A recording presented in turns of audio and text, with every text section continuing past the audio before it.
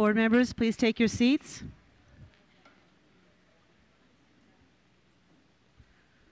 Board members, please take your seats.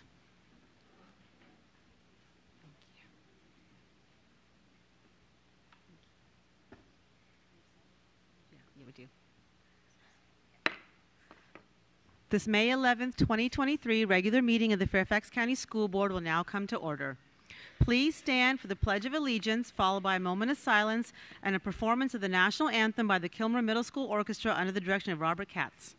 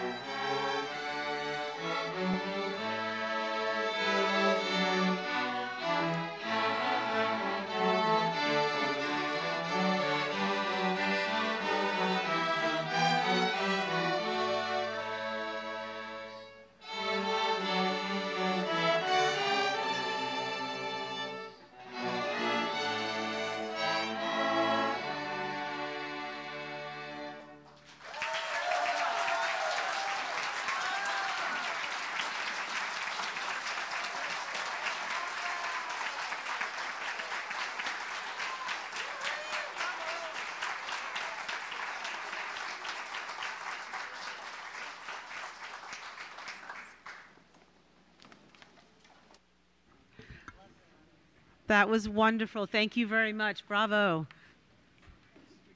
Agenda item 3.02, certification of closed meeting. In order to comply with section 3.2, sorry, 2.2-3712D of the Code of Virginia, it is necessary for the board to certify that since the Fairfax County School Board convened a closed meeting on May 11th, 2023, to the best of each member's knowledge, only public business matters lawfully exempted from open meeting requirements, and only such public business matters as were identified in the motion convening the closed meeting were heard, discussed, or considered by the board during the closed meeting. Do I have a motion? Ms. Cohen, seconded by Ms. Derenak Kaufax. All those in favor?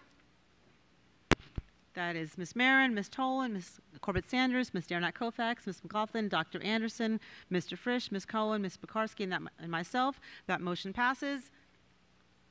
Thank you very much. Agenda item 3.03 announcements. Ms. Keys-Gamarra and Ms. Omeish have submitted written requests to virtually attend this evening's meetings due to personal conflicts. All those in favor of approving Ms. Keys-Gamarra's request, please raise your hand. Ms. Pekarsky, Ms. Cohen, Mr. Frisch, Dr. Anderson, Ms. McLaughlin, Ms. Derenak Kaufax, Ms. Um, Corbett Sanders, Ms. Tholen, Ms. Meren, myself. That motion passes. All those in favor of approving Ms. Omeish's request, please raise your hand. Ms. Meren, Ms. Tholen, Ms. Derenak Kaufax, Ms. Uh, Corbett Sanders, Ms. McLaughlin, Dr. Anderson, Mr. Frisch, Ms. Cohen, uh, Ms. Pekarsky, myself. That motion passes. Welcome. Ms. Keys-Gamarra, may we do a mic check to make sure your mic works? Can you hear me? We can hear you. Welcome, Ms. Keys-Gamarra. Ms. Omeish, can we do a mic check? Good evening. We can hear you. Welcome, Ms. Omeish. Before we begin our meeting, on behalf of the school board, I would like to take a few minutes to welcome the new clerk of the board, Ms. Christina Setlow. Christina, will you please stand for a second just so we can recognize you?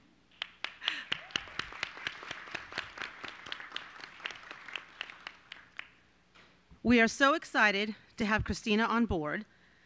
The clerk is both the face of the board and the magic behind the scenes to keep the trains running smoothly, juggling a multitude of items and personalities in the process. Christina has that rare combination of educational background, she's a lawyer, and has experience working in a similar role to the clerk for a 12 member elected body. Excuse me, 13 member elected body. She was a former high school chemistry teacher with a master's in education and a Bachelor of Science in Biochemistry, both from UVA, and graduated summa cum laude from the Catholic University Columbus School of Law. She worked for the District Office of the State Superintendent of Education, beginning as the Director of Policy, Legislative, and Governmental Affairs, and rising to Interim Chief of Staff. She also worked for the Chairman of the DC Council, served as the Deputy Committee Director for the whole of the committee, and as the Chairman's Education and Labor Policy Expert. She is also a proud FCPS parent and Fairfax County resident. So we're very, very excited on behalf of the board to welcome you, Christina, and we're very, very excited to work with you on the board. So thank you for joining us. And we also want to thank Bev Medea, our deputy clerk, who has been serving as our interim clerk for nearly two years. Thank you for your many years of service, both to the board and to FCPS. We are so grateful and honored for all the work you've done, especially these last two years serving as our interim clerk. Thank you, Bev, for everything from the bottom of our heart. We wish you the best in your retirement. You will be sorely missed. Thank you, Ms. Medea.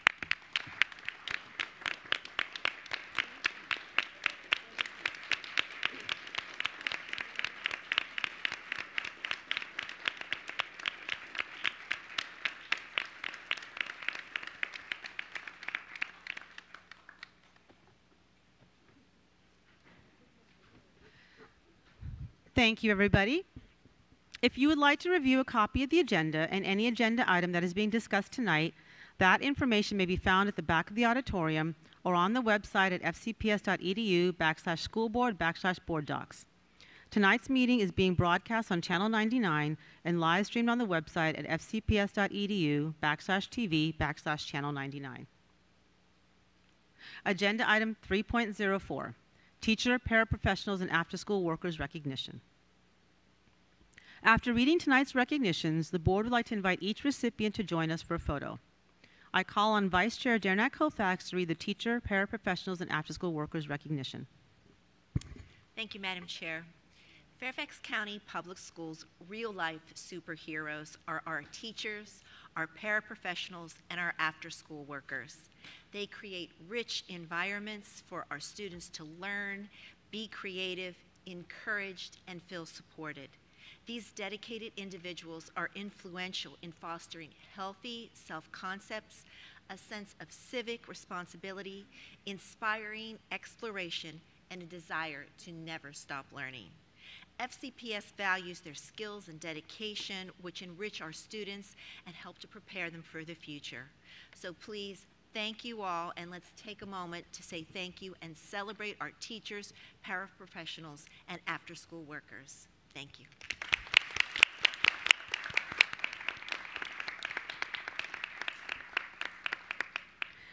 Agenda item 3.05, Children's Mental Health and Wellness Month recognition. I call on Rep- Student Representative Togbe to announce this Children's Mental Health and Wellness Month recognition. May, oh. May is Children's Mental Health and Wellness Month, which highlights the importance of positive mental health on a child's healthy development. Yet, over one in five children and youth in the U.S. have a mental health issue, and only half of children and youth with behavioral health issues receive treatment. Fairfax County Public Schools is in partnership with county agencies and nonprofit organizations to increase awareness of signs of mental health distress and to address barriers ex- accessing services through coordination of prevention, early intervention, and treatment services.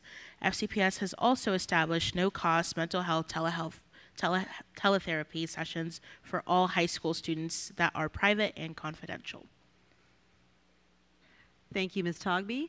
Agenda item 3.06, Asian American and Pacific Islanders Heritage Month recognition. I call on Superintendent Reid to announce the Asian American and Pacific Islanders Heritage Month recognition. Thank you, Madam Chair. Um, May is Asian American Pacific Islander uh, Heritage Month and a time to recognize the people who are a vital piece of our diverse ethnic and social fabric whose languages and cultures have enriched our community. Asian American and Pacific Islanders have made valuable contributions to all areas of Fairfax County, including schools, businesses, arts, sciences, medicine, law enforcement, and the military. Through their love of family and community, hard work, and ingenuity, our Asian American and Pacific Islander students and community members make our schools a better place to learn. This year's theme, Advancing Leaders Through Opportunity, encourages everyone to study, observe, and celebrate the Asian American Pacific Islander today and every day in support and recognition of the history and culture of this community. Thank you, Dr. Reid. Agenda item 3.07, Muslim American Heritage Month proclamation. I call on Dr. Anderson for a proclamation. Thank you. Bear with me here. Whereas, from our nation's beginning, Islam and Muslims have been woven into the American fabric and story. From Muslim explorers like Estevanico, who landed in today's Florida, Texas, and New Mexico, starting in 1527 to upwards of one third of enslaved Muslim Africans like Yarrow Mammout and Omar ibn Said, who brought their beliefs and traditions to the Americas. And since the late 1800s, when Muslims have immigrated to pursue the American dream, such that today Virginia has the seventh largest population of Muslims in the United States. And Fairfax County is home to the highest number of its congregations, over 35 mosques. And whereas 1.8 billion people, nearly one fourth of the world's population, share a common Muslim heritage and traditions spanning from Southeast Asia to North America, yet Muslim Americans are one of the most racially diverse faith groups in the nation, a diversity reflected in the student body of Fairfax County Public Schools, where three of our 10 most widely spoken languages are Muslim majority languages. And whereas for ages, Muslim Americans have, been, have greatly contributed to every facet of American life, including the fields of technology, science, music, art, athletics, education, business, government, medicine, and numerous others. And we celebrate this rich heritage and recognize that throughout our nation's history, Muslim Americans like Malcolm X, Muhammad Ali, Ibtihaj Muhammad, Samantha Elauf, and many more have worked to strengthen civil rights, uphold social justice, and ensure religious freedoms by joining people of all backgrounds to embrace tolerance, understanding, and kindness, and to stand against hatred wherever it exists. And whereas Muslims, Muslim students experience ostracization and bullying because of their faith, in 2022, polls by the Institute for Social Policy and Understanding found nearly half of Muslim school age students face religious based bullying, and in the past year. Furthermore, the Council on American Islamic Relations reports that Islamophobic school curriculum and anti Muslim bullying increased by 55% over 2020 alone. And whereas Fairfax County Public Schools is enriched by a united and pluralistic community where we are committed to treat every individual fairly and with respect, such that Fairfax County Public Schools has an obligation to combat anti Muslim bigotry and Islamophobia in all its many forms wherever it exists as one of its One Fairfax commitments. Now, therefore, be it, be it resolved that the Fairfax County School Board joins the 25 active high, high school Muslim Student Association clubs in the various chapters in middle schools to celebrate April 2023 as Muslim American Heritage Month that she says it was last month. Mm. I'm so sorry. I will be changing that to May because we're in May as Muslim American Heritage Month. Go ahead, you can clap again. Is there a second? Ms. Tholen? Dr. Anderson, would you like to speak to your proclamation? Yes, I've said a lot, so I will speak to it um, briefly. Muslim Americans are the tape are part of the tapestry tapestry of this nation and of Fairfax County. The Pew Research Center estimates that over 3.4 million Muslims live in the United States. Early immigrants came to Virginia, arrived in the 1920s. The community has developed, building mosques, schools, and cultural institutions around the state.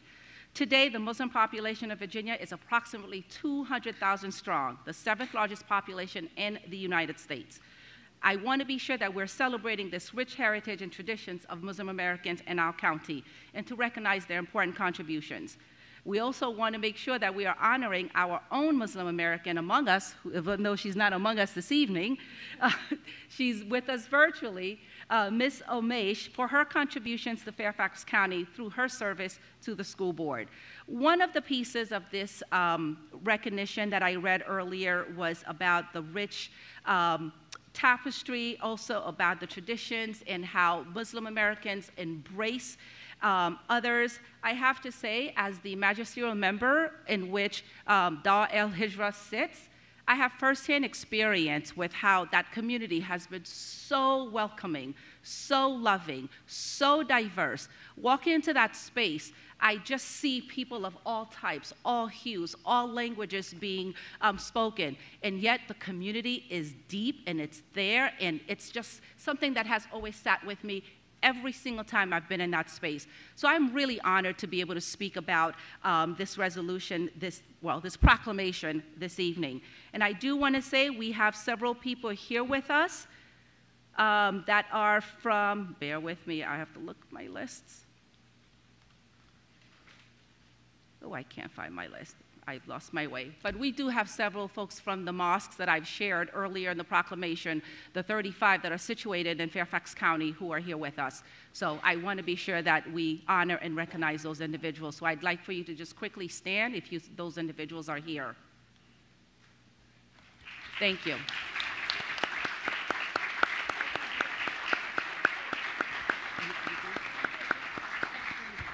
Is Miss Omeish's mom here? Yes, please stand. We would have loved to have your daughter be here this evening to be in the photo with you, but we appreciate your presence. Thank you. Ms. Tholen, did you speak to your second? Yes, thank you.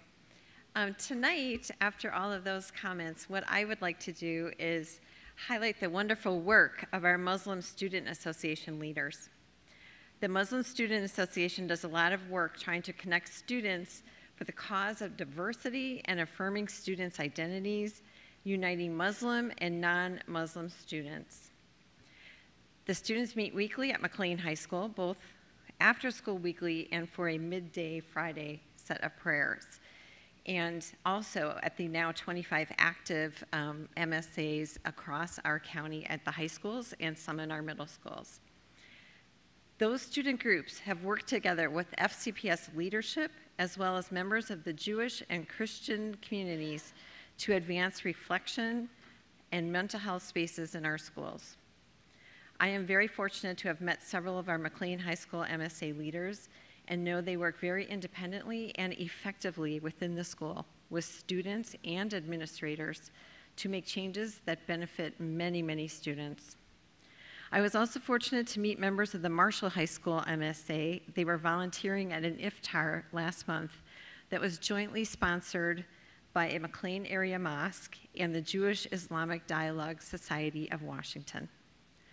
That evening was a wonderful opportunity for deep discussion on the ways we can all collaborate to celebrate our differences and our similarities and our universal need for human caring and respect.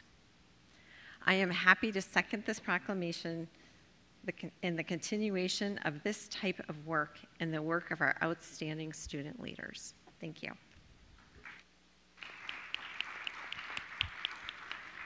Thank you. Ms. Cohen? Thank you so much, and thanks to everybody for being here. It's uh, a happy accident, I guess I would say, that our um, Muslim American Heritage Month proclamation happens to be the same night as our Jewish American Heritage Proclamation, which is to come Um, I think there are an awful lot of folks who work really hard to pit um, our communities against one another, and sometimes because it serves their needs a lot better than it serves ours collectively. I am always fascinated by how much our religions share, how much we have in common, that we all came from the same place. Um, and I do want to thank so much just the welcome, loving kindness um, that the community, especially the National Arab American Women's Association, who met um, with me several months ago. Um, sometimes it's hard as a Jewish person to figure out how you navigate and insert yourself in a way that is respectful, um, that isn't threatening, and that kind of defies the stereotypes that we all learn about one another, unfortunately, as we all grow up. And I just want to say from the bottom of my heart how much I appreciate um, the embracing of all of us up here, no matter if we share your religion or if we don't. Um, we have learned so, so much, and we continue to be very enthusiastic um, learners. So thank you. Thank you. Ms. Pekarsky? Yeah, thank you. I'm pleased that uh, Ms. Omeish, or well. Dr. Anderson, and everyone who brought this forth, um, so that we join many other municipalities and school systems that have recognized the contributions of Muslim Americans. Um, and I, you know, I just want to say that I hope our families and our students um, through this recognition, but more so through our actions and our interactions, um, really see that we, we value you, we appreciate what you bring to our school system, and we are better because of it. Um, and, and there is still a lot of education. I know that there is, as, as was you know, brought up, still bigotry and Islamophobia um, in our community, and it is incumbent on us that we do everything we can to combat that and to teach our children um, that our differences are not to be feared but to be embraced. So, thank you for everyone who came for this tonight. Thank you. Ms. Corbett Sanders? Thank you, Madam Chair. We often hear, why do you all do proclamations? Why do you do recognitions? Why do you do resolutions? And it's quite simple. We have a mosaic of students who attend Fairfax County Public Schools, who, uh, of staff that come from various faiths, from various countries, and so it's really important to have these proclamations that recognize and celebrate different aspects of our student body. We want every child and every staff member to feel valued, heard, and seen in our schools, in what we do, how we interact with each other, and in the curriculum we teach. And it is with that in mind that it is so exciting that we are honoring tonight not only Muslim American Heritage Month, but also Jewish American Heritage Month and the Asian Pacific American Heritage because it actually demonstrates how beautiful it is to be part of Fairfax County Public Schools, where people can come from a multitude of uh, backgrounds and be welcomed into our community. And along those lines, I think it's really important to understand and to celebrate the critical role that many organizations play in our communities. And here in um, my own community, in Mount Vernon part of uh, Fairfax County, we have ICNA Relief Services. And ICNA Relief Services does amazing work in support of our children with back to school um, backpack drives, with food pantries, with transitional housing, with um, clothing, and also has taken a major leadership role in our Ventures in Community, which is our interfaith dialogue and action program. And so I just am so pleased to be able to support this and to recognize all the amazing work that our Muslim community does here in Fairfax County. So thank you. Thank you, Ms. Corbett Sanders. Ms. McLaughlin? I too want to thank um, both Ms. Omeish for continuing to help our board and our community understand um, the very special uh, relationship that we all need to have with one another, um, regardless of faith and background. Um, as a Catholic, uh, it's still hard to believe that there was a time as recent as 1960 that our nation wasn't sure that they should elect a Catholic president. That was scary to think about someone of the Catholic faith.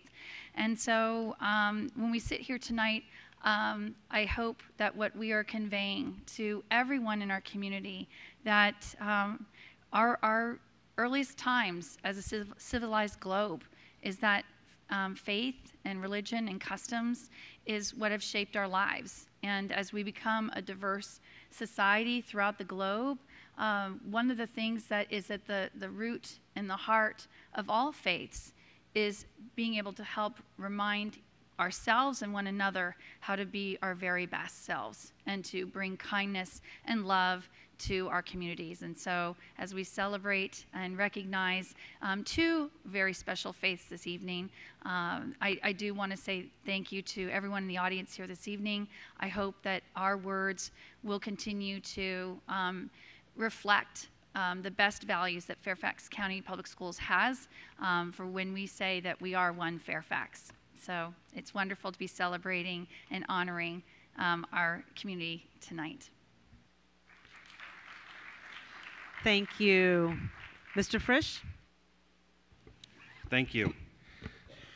So, uh, in June, we're going to be celebrating LGBTQ Pride Month. And as I've been working on the resolution, and as I hear the words tonight and read the words tonight for, for this proclamation, um,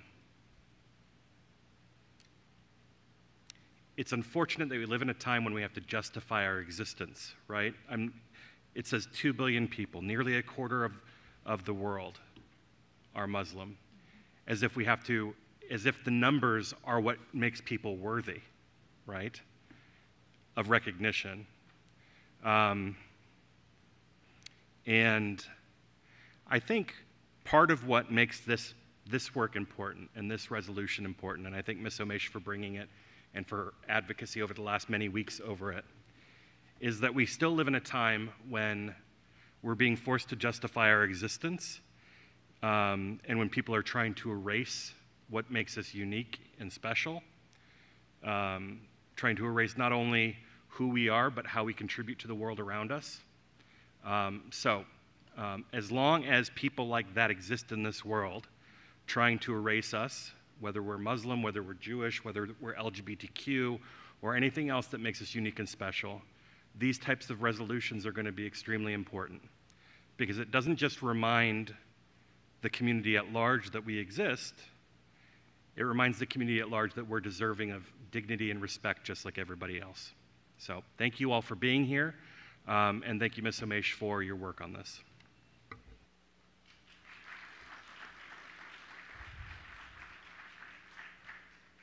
Thank you. Before I call Ms. Togbe, I want to make sure no one else wishes to speak. Ms. Omeish, go ahead.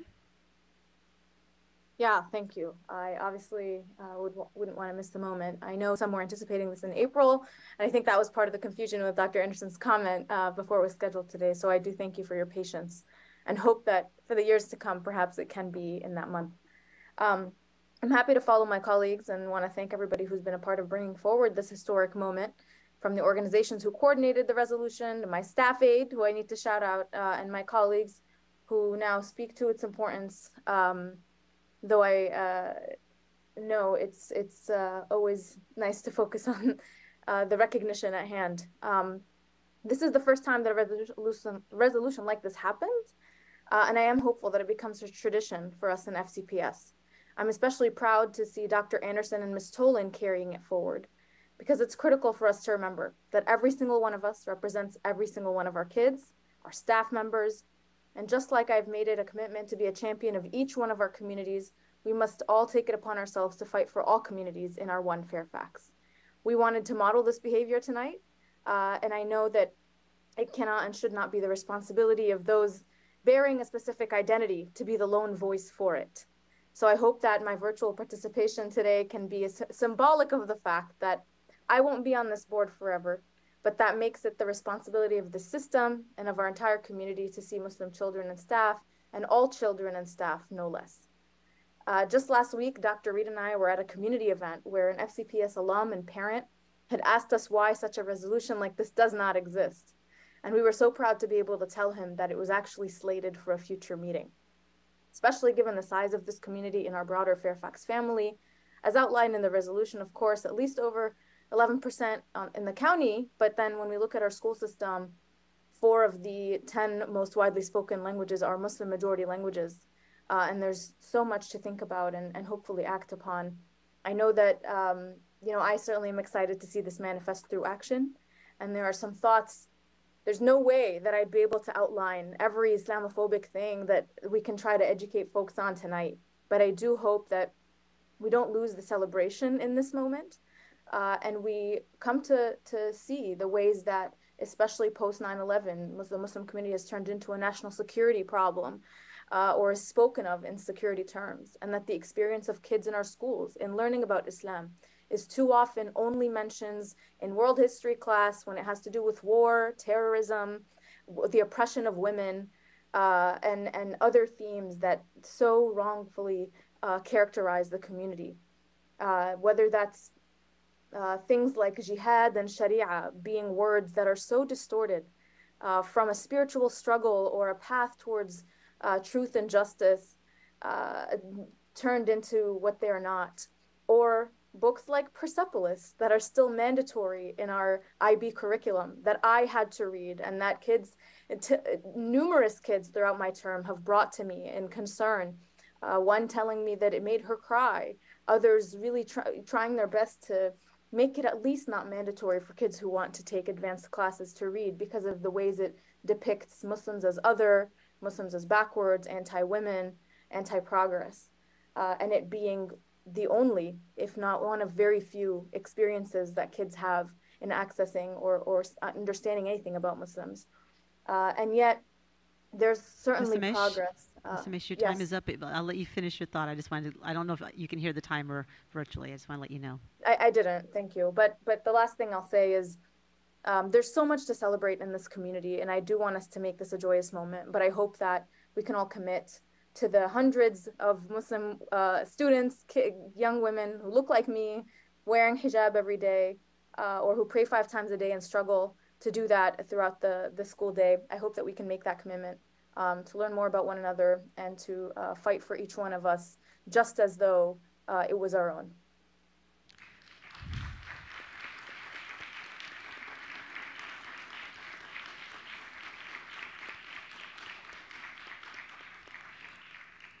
Thank you. Um, seeing no other hands up, I'll take a pause before I call on Ms. Togbe. Thank you. Go ahead, Ms. Togbe.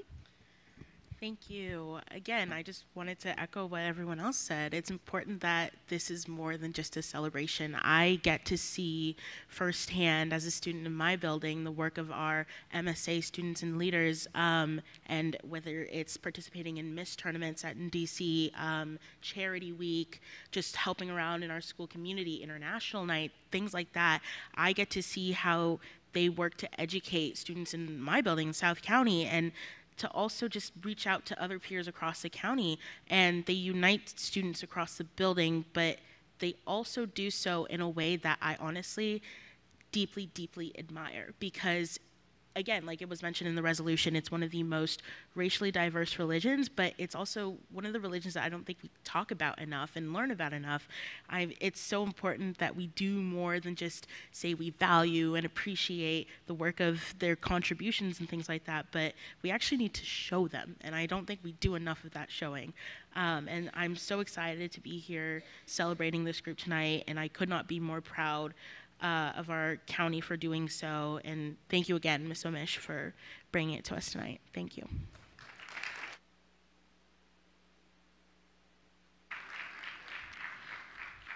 Thank you. And seeing other hands up, I'll just briefly take my turn. Um, I want to echo all the remarks of my colleagues. I am very appreciative, um, Dr. Anderson, Ms. Tholen for bringing this forward, Ms. Omeish for bringing this idea forward, and for your representation on this board. I've said for a long time that representation matters. We live in a multicultural community, and having representation from that community is important. So thank you for both lifting up the voices and experiences, and thank you for bringing this to the board. I am um, very thrilled to support it.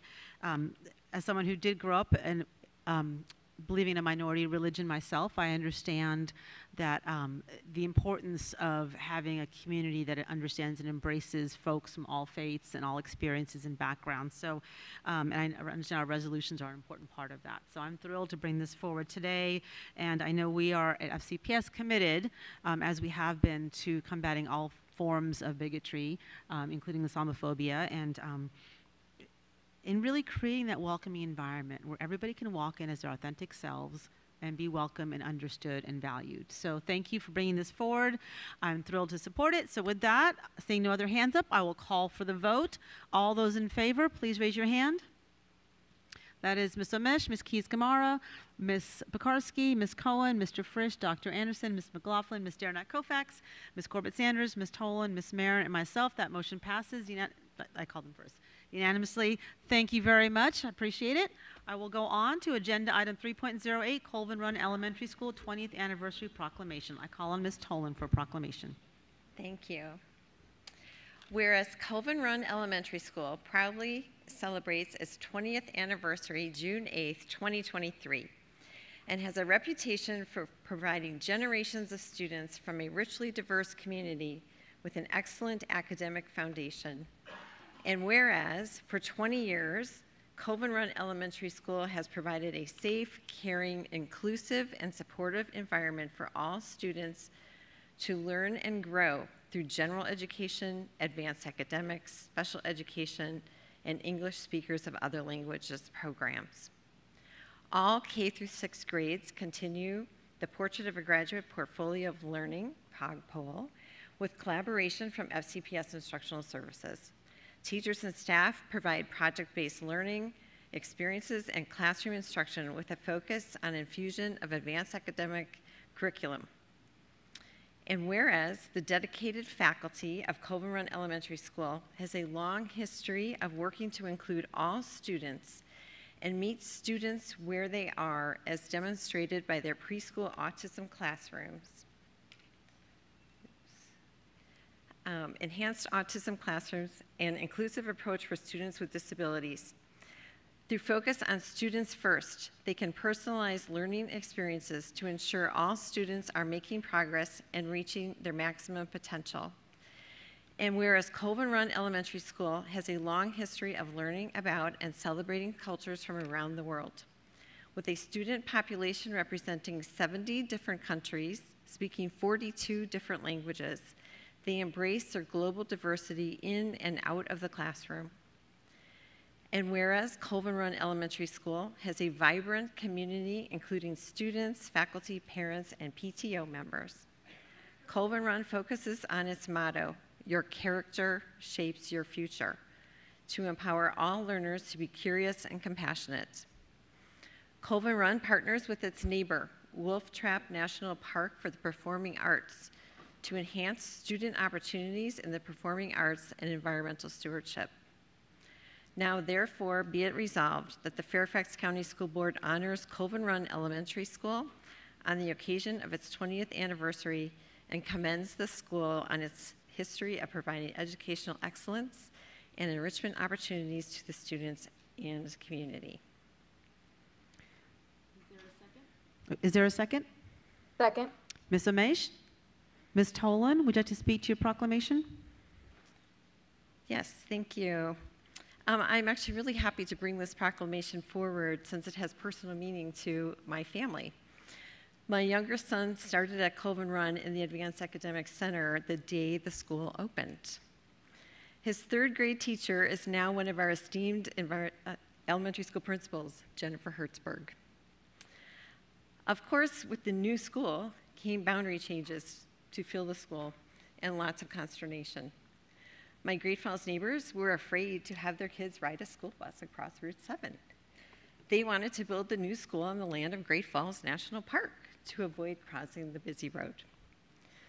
That aside, current families at Colvin Run that moved to their neighborhood just for that school can't even believe the stories I can tell. Our house is solidly in the Great Falls Elementary boundary, so imagine my surprise when my second grader came home one day to announce that he had been redistricted and decided to go to the new school because the cafeteria chairs and the playground at the new school looked really cool. It turns out that Colvin Run staff had visited Great Falls to get the kids that were going to be going there excited. But the timing of the visit was just a little bit off because it wasn't until the next day that we got his acceptance letter to the Advanced Academic Center. My son went on to have an exceptional experience at Colvin Run. I must do a shout out to the first principal, Dr. Sandy Furyk, who served to bring together kids from seven different regional elementary schools. She empowered parents to play an enormous role in the success of the school. She led us all to come together with a common goal of creating a wonderful, memorable elementary school experience in Fairfax County Public Schools. And that's what we did. I'm pleased to say the current principal of 10 years, Ken Youngie, is here with us tonight, along with his uh, assistant principal and lots of staff members. Congratulations, Ken, on keeping up that Colvin Run tradition, having been principal for half of the time that Colvin Run has been open. Thank you.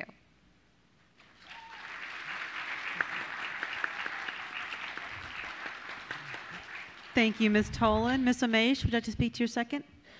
Yeah, thank you so much. And I want to thank Ms. Tholen uh, for bringing this. And, um, you know, I, it's always exciting to celebrate uh, the tremendous successes of our schools. Um, you know, specifically with Colvin Run. Uh, Colvin Run is a community um, that is committed to high excellence in character. Uh, and that's important to me. You know, it, it, the, the school itself, Colvin Run, uh, come, the name comes from a nearby stream that flows through the area where the school is located.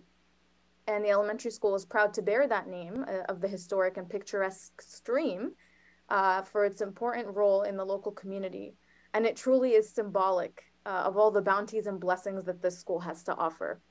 The motto of the school is, you know, we, as, as said in the resolution, your character shapes your future but it's broader. It's the character education program that they have. It's their mission statement of community com- that is compassionate, honest, respectful, responsible, on the run to, the sh- to shape the future.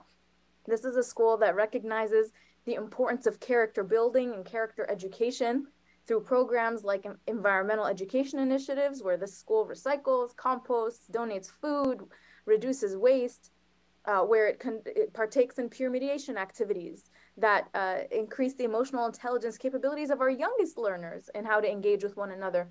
And this Colvin Run also partakes in uh, uh, Jumping for Heart, which is uh, an organization that do, uh, uh, seeks to, to collect funds for the nation's leading cause of death, which is heart disease.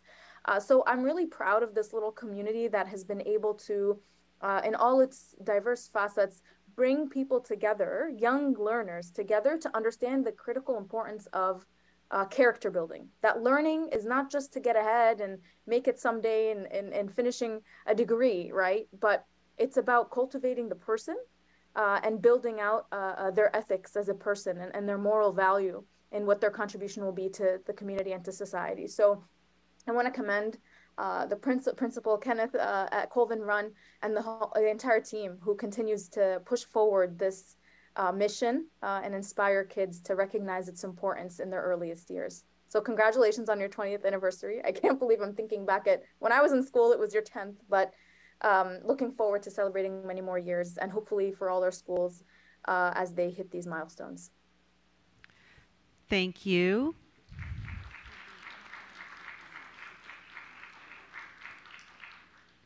Seeing no other hands that wish to speak, I will quickly just say congratulations, Colvin Run. This is an amazing anniversary. And uh, Ms. Tholen, I do love that story. So thank you for bringing this, uh, Ms. Tholen and Ms. Omeish for bringing this. And with that, I will call for the vote. All those in favor, please raise your hand. Ms. Pekarsky, Ms. Cohen, Mr. Frisch, Dr. Anderson, Ms. McLaughlin, Ms. Derenak Kaufax, Ms. Corbett Sanders, Ms. Tholen, Ms. Meren, and myself. Ms. Omeish, um, and Ms. Keys-Gamarra. That motion passes. Thank you very much. We will move on, and please stick around for photos. We're almost there. Agenda item 3.09, Jewish American Heritage Month proclamation. I call on Ms. Pekarsky for proclamation.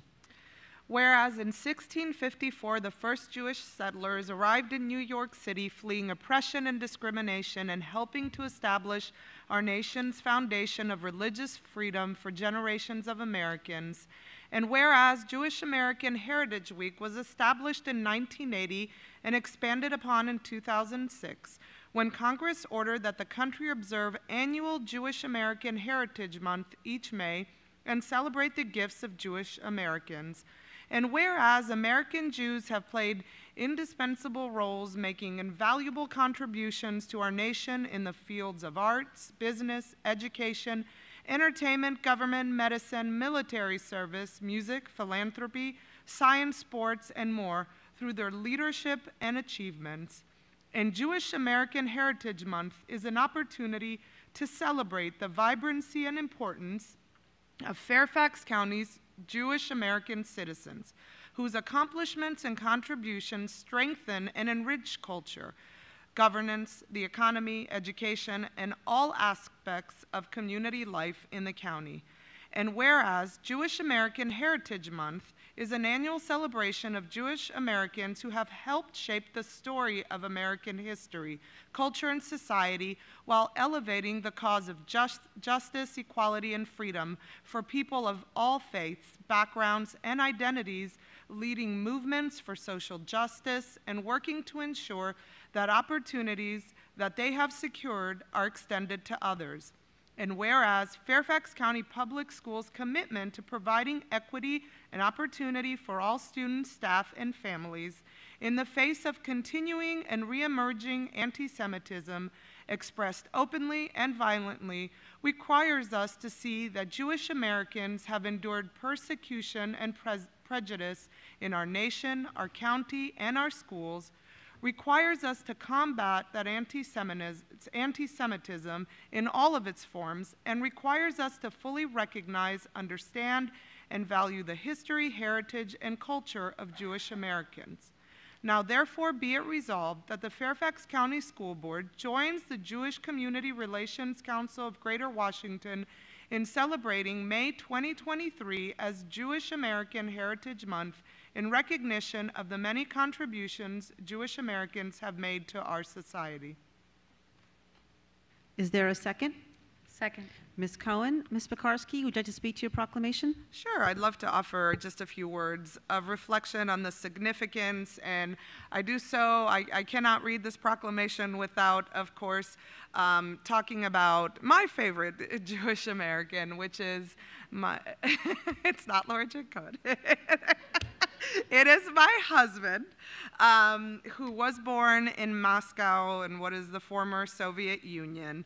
Um, and his family, uh, who was scattered across Eastern uh, Europe, his ancestors, and by extension, my children's, faced lifetimes of persecution and discrimination, as did my husband. Um, he and his family were able to flee in the 80s and come here. Uh, but the things he experienced, the things he saw there, the things that were said to him um, are things that uh, he has never forgotten, um, that have impacted him in ways that are uh, just, I, I think, not explainable um, but have played a very big part in, in the person that he has become. And um, when they came to this country, when his family came here, it was because they were looking to find a community and a home um, that was diverse and accepting. And it's the reason why we raise our children in Fairfax County, where we aim to be a community that celebrates, not desecrates, our religious and ethnic diversity, as we've spoken today. And I think my children, uh, their classmates, are fortunate in many ways that they attend a school and belong to this community where we have um, much diversity and we, where we strive to live up to those values, but we cannot take it for granted. Um, according to a recent report uh, that I read, anti Semitic incidents in the US have gone up 36% in, in 2022. It is the highest level since 1979. Those incidents have climbed almost 500% over the past decade. So work continues to be needed. We must continue to work to prevent discrimination and hate crimes, and that work often starts in our schools through education. And I will tell you an anecdote, and I know, you know, this board has worked to have more inclusive calendars, and it was a struggle to get there, but we got there. And I think it was an affirmation to me that it was the right thing to do when um, one day my youngest uh, said, uh, You know, I'm so excited tomorrow, we don't have school. And I said, Well, why? And continued to tell me all about Eid, actually. And I wondered if we had not done that, um, if they would have been able uh, to learn about uh, their classmates' traditions and the things that are important to them, and by default, build tolerance and acceptance. I'm sorry. Um, but I, I'm grateful to Vicki Fishman and um, everyone who came from the JCRC for your help and your work with us, and we will continue to try to build accepting communities in Fairfax County. Thank, Thank you. Ms. Cohen? I don't think Stella's ever gone over, so I take that as a real win. Um, obviously, this is incredibly meaningful uh, to me. And just this Sunday, my oldest child um, graduated from post confirmation, which meant um, that they, after their bat mitzvah, decided to continue their religious education all the way through 12th grade. And as each of the students in their class certainly had dwindled down, um, but as each of the 10 students got up, what their speech was is what they would carry with them the metaphor of a suitcase when they went to college. And they all had great stories and different memories of their years um, in religious school and in Hebrew school. Um, but what my child said was um, incredibly meaningful to me. And what they said is wherever they go, they know that Judaism is their home. That when they go to college, the first thing that they're going to look for is the Hillel because they know that there will be people there who will just get them in the world of trying to figure out how you navigate college and friendships. And I've thought so much about our responsibility here in FCPS to make this our home. We use the word family a lot. I think all of us up here believe that immensely, that we want this to be a family, we want this to be a home. And we want when our kids leave and walk across that stage for them to always feel like they're welcome here. And as Karl said, um, we don't ever want them to have to feel like they have to prove their worth in any way. Not any of our kids, not our preschoolers, um, not our Muslim kids, not our Jewish kids, not not our gay kids, not any of our kids. And resolutions like this, the calendar, I, I, I, completely agree. We're making steps. I know they are incremental. I know we're not there yet.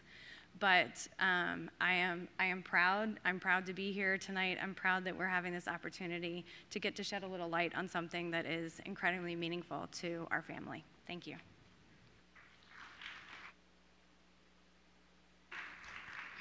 Thank you. Ms. Tholen?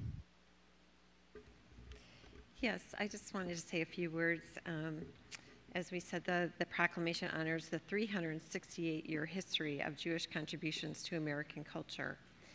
And that's very important. I understand in 1654, 23 Jewish refugees sailed into the current day New York City in a small ship. Um, the courageous women and men fled discrimination and oppression to come here and, and face some of the same. Um, we do uh, tonight honor the contributions, timeless traditions, and the heritage of Jewish Americans, uh, and we want to do that each and every day. Um, our colleagues, JCRC, states that um, education about Jewish identity and the contributions of Jewish Americans is a critical antidote to the rampant anti Semitism the Jewish community is experiencing today. I just want to give a huge thank you to um, Ms. Franklin Siegel, Rabbi Jeffrey Sachs, Vicki Fishman, and the organizations you represent for working with me to share your guidance to deal with incidents of anti-Semitism in our Dranesville community and your willingness to communicate with our students and families and the broader interfaith community to better understand the Jewish faith and the heritage and to appreciate all of the contributions that have been made to our country. Thank you.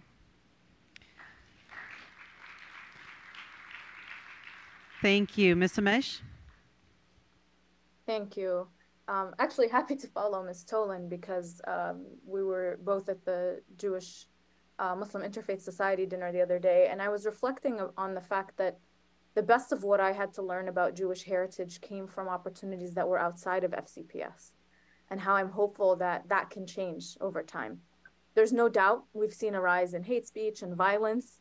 Uh, and as I've spoken to earlier, an, an attack on one of us is an attack on all of us. And I commit myself to standing shoulder to shoulder and condemning anti Jewish sentiment and rhetoric and hate, but more, more than that, and humanizing um, Jews in our curriculum and in the ways that we teach our kids.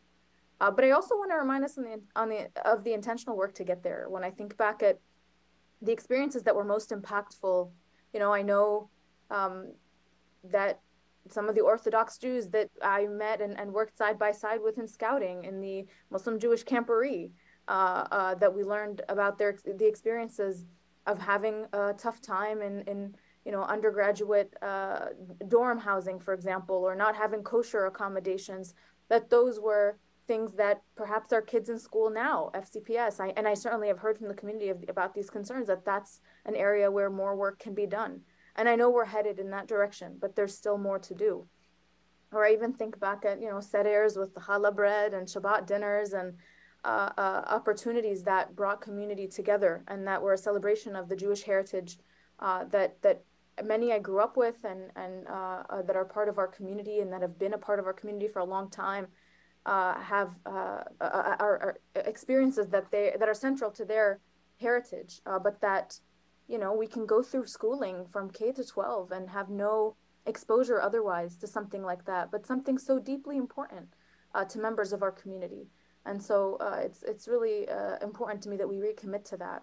Or even historical figures like Maimonides, right, who is a Jewish philosopher who beca- became one of the most influential Torah scholars, as Jews themselves know better than I do, uh, but who rose in a time of, of interfaith collaboration and, and um, you know, uh, in a civilization that was not led by Jews, in fact, was led by Muslims. But I say that because um, it's so empowering to think of figures like that in history that we can learn about and see to be role models for ourselves, even if not necessarily identical to our own backgrounds or identities, right? But to see the collective heritage uh, uh, that or the, the that Jewish heritage can be something we can identify with as well, and that we continue to recommit ourselves to speaking up against injustice uh, and anti-Semitism where we see it, uh, despite the politics of it all, uh, because I think um, that that is is what's what many seek to divide us through, uh, but that we have to elevate the importance of again seeing our collective humanity and and speaking against hate to, that's directed towards Jews by learning their history uh, and by having opportunities where we do speak about uh, perhaps tough conversations, but uh, uh connect around those experiences that are most meaningful to our Jewish community uh, and continuing to provide accommodations and, and prioritizing their visibility um, in, in the narratives that we learn, whether in English or history class or wherever those might be. So happy Her- Jewish Heritage Month to everybody. Thank you. Ms. McLaughlin? I want to thank Ms. Pekarsky and Ms. Laura Jane Cohen um, for bringing this forward tonight as well. Um, your remarks, in particular the personal ones, were very touching, and I think it helps personalize why this is so meaningful this evening. I just want to elevate that uh, that PBS uh, about two weeks ago uh, had a really wonderful story that was on um, 10 Jewish Americans who have changed history, and they elevated Albert Einstein they elevated Gloria Steinem, who has been an incredible um, champion for the women's movement. they elevated Irving Berlin, who, uh, as we all know, brought wonderful um, musicals um, to our American um, culture and world. Um, Jerry Lee Lewis um, and Elizabeth Taylor, that beauty with the violet eyes. Uh, uh, famed artist Mark Rothko, as well as Stan Lee, also known AKA the creator of the Marvel Comics. And then we have Eli Wiesel, a famed Holocaust survivor, and helping to maintain and bring um, history so it continues to live on today, so we will never forget. And then we have Stephen Sondheim, um, another um, critically acclaimed um, lyricist. And then we, uh, we have, finally, Ruth Bader Ginsburg. And so I just encourage all of you that, uh, again, when we think about these celebrations, that uh, recognizing that some of the most incredible contributors to our, um, our United States, uh, it's, it's great to be able to spotlight that uh, um, on events like this evening. And the fact that we have five members of our board who, their families, um, share in and uh, observe the Jewish faith. Uh, to all of you, um, thank you for continuing to enrich my understanding and appreciation for such a beautiful faith. Thank you. Ms. Corbett Sanders? Yes, thank you, Madam Chair, and I'm pleased to follow uh, my colleague, Ms. McLaughlin. As many of you know, I am uh, married to the son of a Holocaust, of Holocaust survivors, and um, it impacts the way that you approach every day of your life because of the um, the destruction and um, trauma of wondering if your loved ones are going to return home. And so when I look at a, resolu- a proclamation such as this, I think about it from the standpoint of the teaching moment, the importance of ensuring that we never forget. Because when we forget our history, we are at risk of repeating it. And as Ms. Pekarsky mentioned, we have had an increase in hate crimes, rise of anti Semitism, and um, acts of violence uh, at our religious seats, our, our synagogues, um, against individuals, and also against our um, Muslim places of worship as well. And so when I look at these recognitions tonight, I look at this as a mechanism for teaching and remembering and ensuring that we never forget. But I also look at it in the placement of our calendar. And I think that it is not accidental, it is intentional that all of these proclamations and recognitions are done in the month of May. And the reason they're done in the month of May and not earlier is because we want to raise up the opportunity and celebrate the uh, recognitions while also not um, perhaps inadvertently slighting one religion or another. And so I am very pleased that you caught yourself, um, Dr. Anderson, and that the uh, early, earlier one will be changed to be May. And I am also pleased that these should be part of our recognitions every May.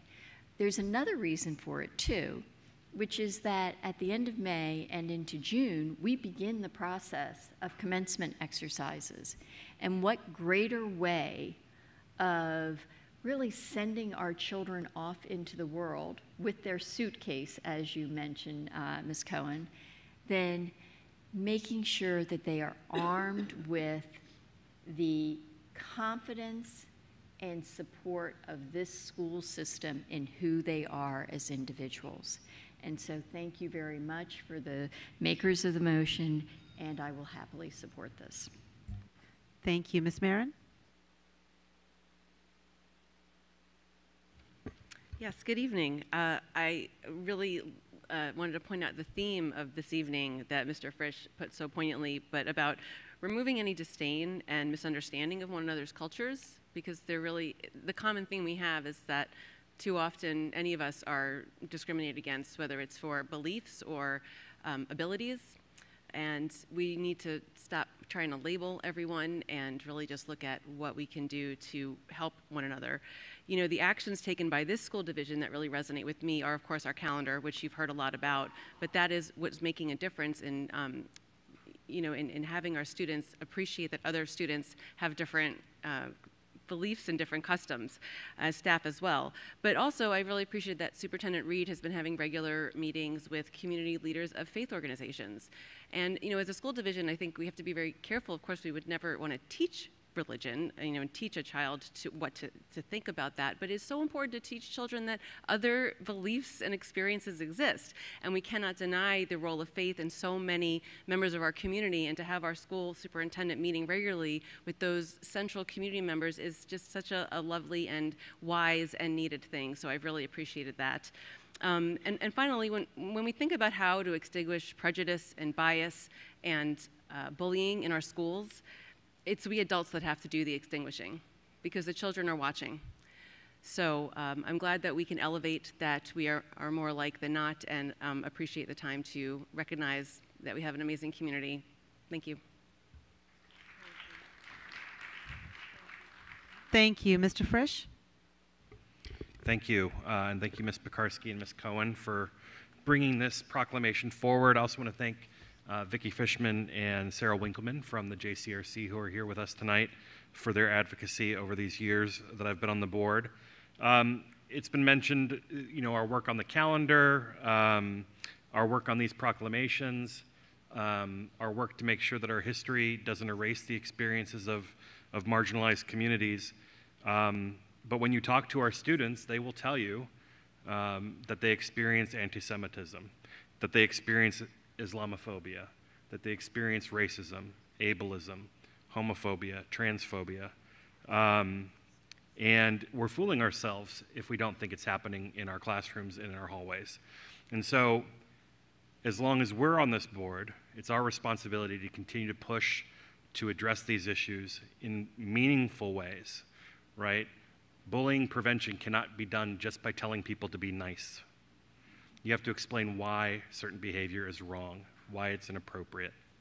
Um, and so I know the superintendent has led on those issues previously um, in her other school divisions, and I look forward to this board working with her um, to make sure that none of our students are made to feel different or othered um, just because of who they are, who they love, what they believe in, whatever. Um, so thank you everybody for being here tonight for this resolution, the previous resolution. Um, it means a lot to have you here, um, and please hold us accountable.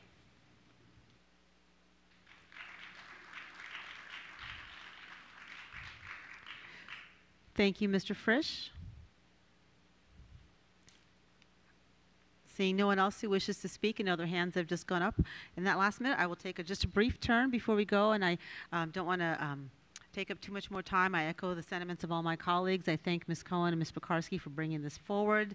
Um, and I just want to say I, I, thank the JCRC for their very thoughtful conversations over the years. I think um, what's been really wonderful about being on the school board, one of the many wonderful things, is being welcomed in so many spaces that I had not been in before. And I did not have the opportunity or a reason to go in before that, um, that maybe I should have been, but I've been welcomed very warmly into several mosques in our community, and um, I, I, really appreciate that. I've been welcomed warmly into the Jewish temples, and everywhere in, in all of the spaces, I've had such amazing, thoughtful conversations that have really helped me expand my worldview and my own thinking, and really had me reflected on my own experiences. So I just want to thank our community.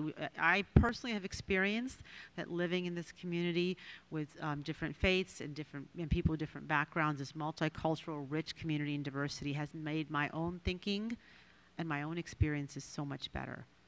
And I think I thank you for that. I thank our communities for having the um, the strength and the courage to speak to others, um, to try to convince them, try to help them educate them, because it's through education, it's through conversations that we build acceptance, right? And we build love for each other. So thank you for that. And with that, I will call for the vote. All those in favor, please raise your hand. It's Ms. Pekarsky, Ms. Cohen, Mr. Frisch, Dr. Anderson, Ms. McLaughlin, Ms. Derenak Kaufax, Ms. Keys-Gamarra, Ms. Omeish, Ms. Corbett Sanders, Ms. Tholen, Ms. Meren, and myself. That motion passes. Congratulations. Thank you very much, everybody. Um, thank you.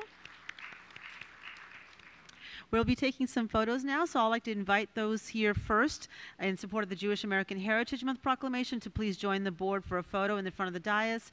And I ask my colleagues remain at the dais for the next four group photos, which will be called up in turn. So please, those here in support of the Jewish American Heritage Month, please join us.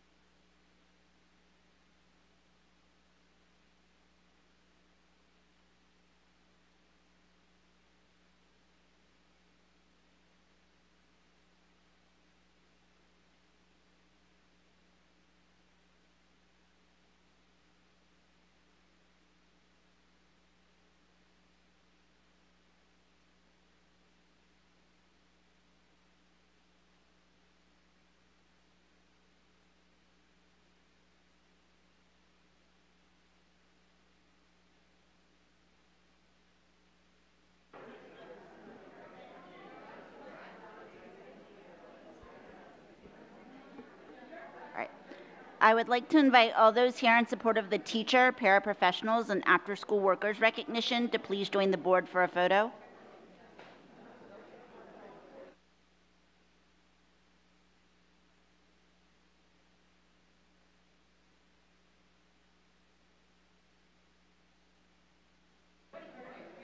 Okay.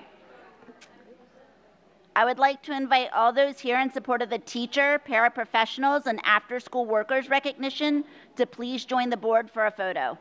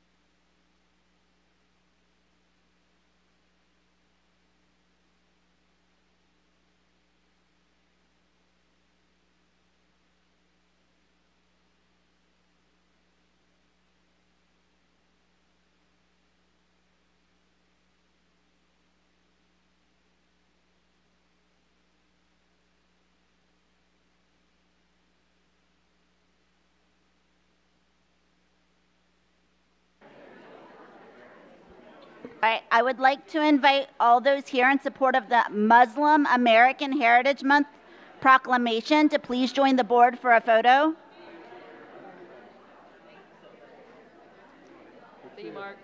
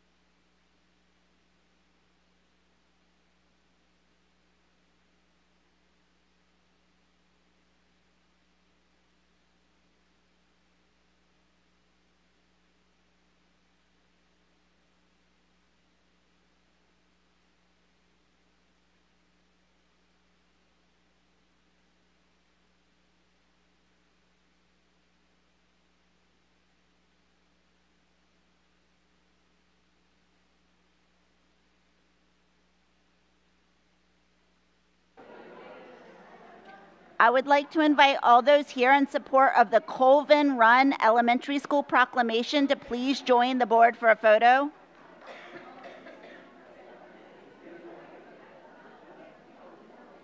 Are they coming? They're coming.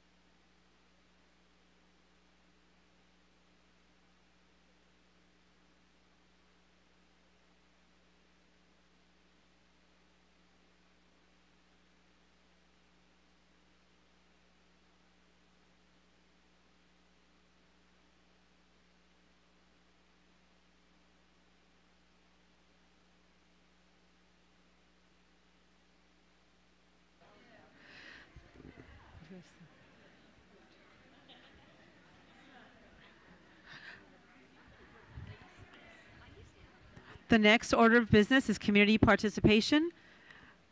Speakers must limit their remarks to no more than two minutes in length. At the conclusion of two minutes, the microphone or video will be turned off.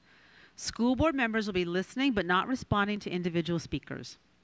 The school board will not hear statements involving issues that have been scheduled for public hearings, such as the capital improvement program, budget, and boundaries. Comments targeting, criticizing, or attacking individual students are not permitted during public meetings. Complaints regarding school-based employees should be directed to the appropriate school principal or other school officials. Speakers should refrain from using personally identifiable information in connection with an individual student or school-based employee. Additionally, speakers should be respectful and observe proper decorum in their statements, avoiding profanity, inappropriate gestures, shouting, and comments that run counter to the spirit and letter of the school division's non-discrimination policy. The school board welcomes community members to provide comments at its regular business meetings and public hearings on school board deliberations, school-related issues, or particular topics. All statements should be directed to the school board, and speakers should remain at the podium until concluding their remarks. As a reminder, speaker substitutions are not permitted. A speaker may not yield their time to another individual before or during their remarks. Shouting and outbursts from the audience will not be tolerated. We are grateful for those who have come to speak to us today, and thank you for your cooperation. Madam Clerk, please call the first speaker. Student number one. Student number two.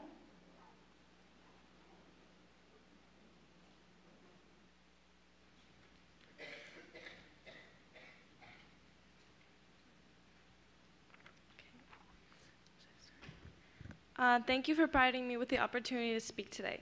My name is Angelina Richter, and I am a junior at the Thomas Jefferson High School for Science and Technology. At TJ, I am on my school's honor council, and I am specially trained in the practice of restorative justice, a transformative approach to discipline and conflict resolution, which I am here today to advocate for. This approach seeks to repair the harm caused by wrongdoing, promote healing, and foster understanding among all parties involved. By embracing restorative justice, FCPS can cultivate a more inclusive, empathetic, and supportive learning environment for all students. There are many reasons why restorative justice should be implemented in FCPS. The traditional punitive route often isolates the offender and fails to address the root problem. Restorative justice, on the other hand, emphasizes collective problem solving to create long lasting and positive change. It promotes the idea that integrity violations harm people and relationships rather than just violating the rules. It the process encourages honesty and truth telling instead of defensiveness. It encourages taking accountability over blaming. Finally, it is oriented towards the future instead of the past, with one of the questions being what can be done to make things right. Studies show that restorative justice significantly reduces suspensions, expulsions, and recidivism rates. By fostering empathy and understanding, restorative justice contributes to a more positive school environment where both students and teachers feel safe, respected, and valued with a mutual trust. In FCPS, TJ stands out as one of the few schools in the county that maintains an active honor council. Furthermore, it is one of a few across the nation where a high school council is led by students. Over the past two weeks, we, over the past two summers, we have participated in a Restorative Schools project which worked to train dozens of teachers from various schools across the county. Adopting restorative justice in FCPS is an investment in the community's well being and future success, and I hope that restorative justice can make a long lasting difference in this community. Thank you for your time.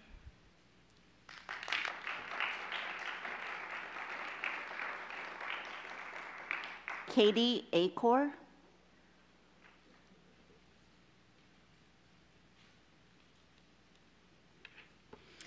I'm speaking tonight on behalf of several parents who have preschool age children with Down syndrome and feel that our children have been siloed into segregated classrooms and denied the related services that are critical components to their early education. My son is three years old, uses 70 signs and other gestures to communicate. When we attended his first IEP, it was paused because we requested speech therapy. At the next meeting, the, the, speech therapist asked me how many words does he say and said she couldn't work with him until he said more words. When asked, she could not quantify what that looked like. So I was shocked to hear Dr. Boyd state at the April 13th school board meeting that only about a quarter of children who are screened for speech services receive evaluations, which is based on the IEP team. I have three neurotypical nieces and nephew in Fairfax County, aged four to eight, who receive speech services. My husband and I are part of my son's IEP team, and we sat through multiple meetings fighting to get him speech. I can only say that this feels like discrimination when it's the same story for multiple families with preschool age children with Down syndrome. After four IEP meetings, phone calls with the coordinator for early childhood identification and services and our procedural support liaison, I believe there is a systemically flawed approach in Fairfax County's early education services. We were repeatedly told the preschool is a language rich learning environment and that these teachers have postgraduate degrees and they're highly trained. I'm not here to discount teachers at all, but I am here to say that teachers can't do it all. My son has a pediatrician and a cardiologist because together they take care of his body, just like teachers, IAs, and speech therapists should work together for his communication goals. Finally, the fact that Fairfax County is not providing inclusive class based preschool options portends low expectations for my son's future. Six years ago, the Office of Special Education Programs announced that, quote, all young children with disabilities should have access to inclusive, high quality early childhood programs where they are provided.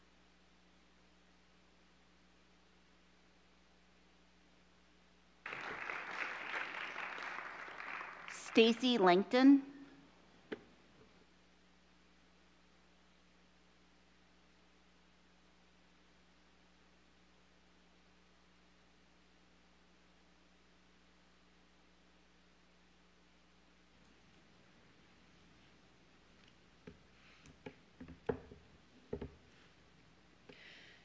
For tonight's porn book story hour, I brought a selection from my son's school, Fairfax High School. Let's see what it's teaching our kids. The book, called Queer A Graphic History by author Meg John Barker, is indeed graphic. It has illustrations of sex acts, some of which are deviant, but this book teaches that there is no good or bad kinds of sex, only a diverse range of practices and attractions. Page 158 says, It ain't what you do, it's how you do it. This panel is of mom and dad having sex. Except in this case, the dad is on all fours on the bed, while mom is wearing a strap on dildo and is screwing dad anally from behind. What the hell? So, kids are supposed to think that this is normal and what parents are doing in private? It says heterosexuality is unfair and oppressive, and if it was natural, it wouldn't have to work so hard to defend itself.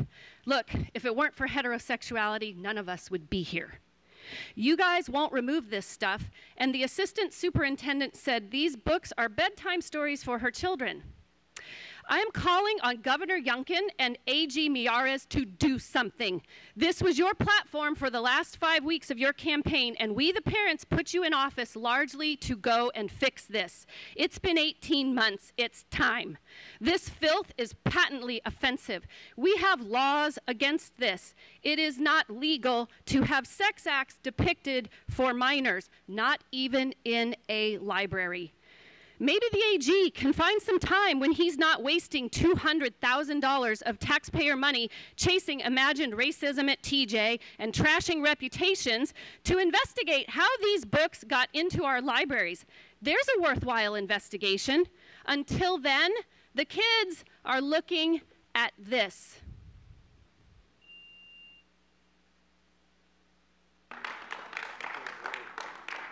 Robert Rigby. Evening all. My topic is censorship. I'm representing no organization tonight. I say that the battle may be over. I say this in part because an innocent Basil uh, Latin textbook was rejected by FCPS, and no one can figure out why. Those who would diminish our FCPS curriculum beyond any value have won. Those who had banned books can now write their histories as winners. Those who would force already marginalized communities further into the shadows can declare victory. How is this? Because we censor our, ourselves. Here in Fairfax, we stop before we write, speak, buy a book we pause before we teach a lesson and wonder what will the curriculum destroyers and book banners say? And we're stuck. Take a look at the proposed strategic plan and ask yourself, what in this, what what is in this that shows clearly that it was written in Fairfax County and not in Florida? Thank you very much for all that you've done over the years. I'm afraid we have not succeeded unless we end and reverse the systemic censorship that we ourselves do. Thank you for listening. I will say I did have a, a more upbeat conversation with someone this evening. So there's a little hope in my heart. Um, uh, so there, thank you for listening. Sherry Cuffle.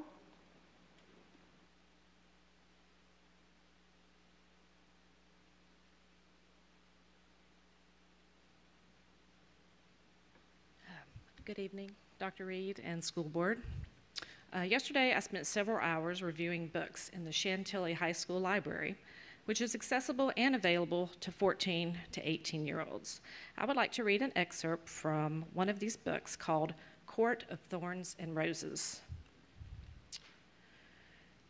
I raised my nightgown over my head and tossed it to the floor. Utterly naked before him, I watched his gaze travel to my bare breast, peaked against the chill night and to my abdomen, to between my thighs. A ravenous, unyielding sort of hunger passed over his face. I bent a leg and slid it to the side, a silent invitation. He let out a low growl and slowly, with predatory intent, raised his gaze to the full force and to mine. The full force of that wild, unrelenting power focused solely on me. I tore at my clothes, and they were on the floor, and then his skin was marked down his back with my fingernails. His claws were out, but devastatingly gentle on my hips and slid between my thighs and feasted on me, stopping only to only after I shuddered and fractured. I was moaning his name when he sheathed himself inside me in a powerful, slow thrust that had me splintering around him. We moved together, unending, wild and burning. And then when I went over the edge, he went and roared and went with me. Are you guys uncomfortable? I'm very uncomfortable right now reading this. I read so many things like this yesterday, and this is available to 14 year olds. Why is there a sexy, hot scene between adults in our high schools? What educational value is there except to expose our kids to sexually explicit material? This book, which is a part of a series, should be removed from our schools. Thank you.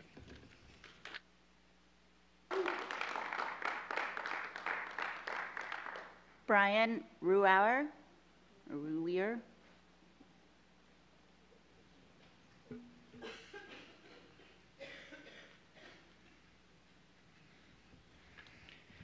Hello, and thank you for the opportunity to address you this evening.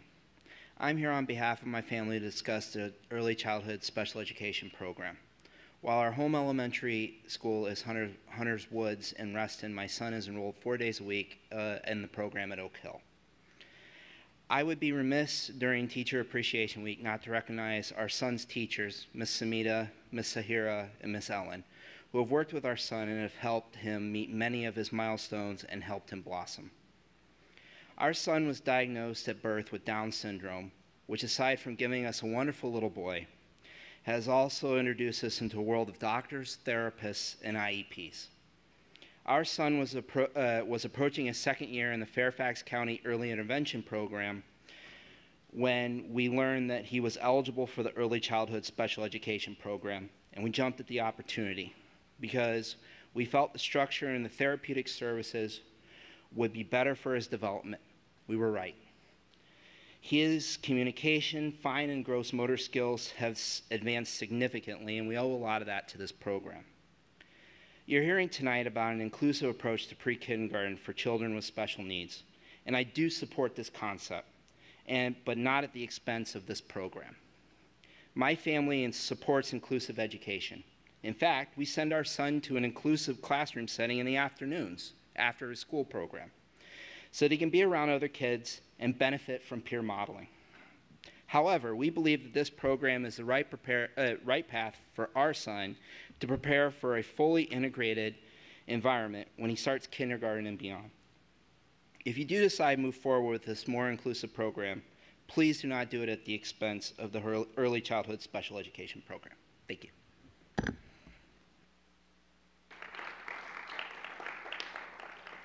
Monica Fa- Favela.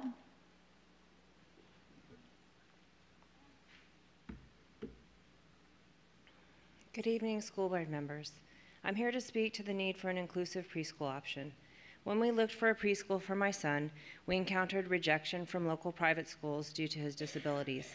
Our only choice was FCPS contained classroom, consisting of nine other children, all with IEPs.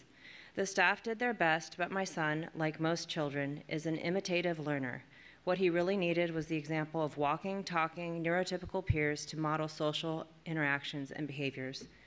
My son was able to attend a play care facility for one month during the two summers in between his three years of FCPS preschool. He picked up more age appropriate language and behaviors from those combined eight weeks of exposure to his typical peers than he did from three years of FCPS special ed. Fast forward to his kindergarten placement. My son still spends the majority of his day in a special ed classroom. The justification for this placement stems from his segregated preschool experience. Remarkably, Leo is the first child with Down syndrome to attend our local elementary school in 20 years. All the other public school students with DS are being bused to another school with segregated classrooms. By only offering contained classrooms for preschoolers with IEPs, FCPS is siloing many disabled children into special ed for the rest of their academic careers. There's also a systemic denial of services for our preschool population with IEPs. Our son's lack of communication skills were painfully clear, yet our requests for speech services were continuously ignored or denied. When FCPS finally conducted the evaluation prerequisite to receiving speech services, they found my son with the communication skills of a 21 month old. He had just turned five. They finally gave him speech therapy and he responded immediately. While I cannot alter my son's past, you have the ability to reshape the future for our disabled community by imp- implementing a county-wide inclusive preschool option and increasing the availability of related services. Thank you.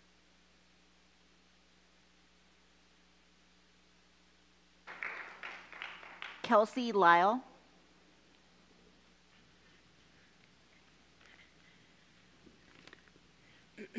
Hello. I'm a mother of a preschool age child with a disability. First, I applaud the board's efforts to place equity and diversity at the heart of the district's mission, and I also want to express gratitude for your commitment to inclusion. Also, thank you for being the first district in the nation to hire a neurodiversity specialist. This is who we are in Fairfax County. We embrace and celebrate differences. My fellow advocates and I have two requests for the school board. First, we are asking Fairfax County Public Schools to abide by the Individuals with Disabilities Act by providing our early childhood students with a general education setting. Currently, students found eligible for early childhood services are only offered three options a one hour resource teacher, a contained class setting, or the preschool autism class. I want to be clear having a regular preschool option does not take away from any of those other placement options. We are simply requesting that FCPS provide a, the continuum of service options. Our second request is for FCPS um, to provide resource, I'm sorry, to provide, um, to expand resources for special needs students. Um, we ask that when our children are evaluated and found eligible based on the area of need, that speech, occupational, or physical therapists implement these services and not on our already overworked early childhood educators. Um, supporting early childhood and preschool programming is the best investment our community can make. Studies have found that um, children with developmental delays who received early intervention did not, I'm sorry, 46% of those children did not require an IEP in kindergarten. Um, and so in closing, we ask FCPS to provide, yeah.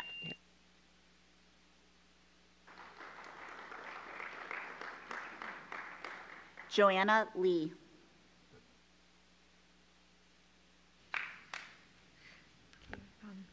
Hello, uh, Fairfax County Public, uh, Public School Board. I'm here to share our experience regarding related services for my daughter who is in the preschool class-based service program. When I first heard about related services, I was told that IDEA related services means transportation and such developmental, corrective, and other supportive services are as required to assist a child with disability to benefit from special education, including speech, OTPT, just to name a few. When I asked the school for speech therapy, I was told that the classroom is a language rich environment and the teachers will communicate with my daughter all day, so she doesn't need speech therapy. I said, okay, but later thought to myself, then who can get speech therapy if they're attending school? I know for sure there are families who are receiving speech therapy services. So, what is the standard of speech delay a student needs to demonstrate to get speech therapy? I was confused. There is a huge discrepancy in the standard of special needs families receiving services. When asking for PT because my daughter was still not walking past age two, I was told again that the school is a motor rich environment. We had to fight so hard for this one, and thankfully, in the end, we did get PT services, but it shouldn't have been that hard. Currently, the school is proposing to reduce vision services and drop her vision goals from the IEP, despite doctor reports and parent input regarding her visual challenges and continued need for services. It is truly exhausting, but I can't give up. My daughter doesn't have a voice yet, and I have to be that voice for her, to fight uh, the fight for her. But why does it always have to feel like a fight? I know we are on the same team. Please make related services more easily available to your students with IEP. Thank you for listening and for your time. I really appreciate it.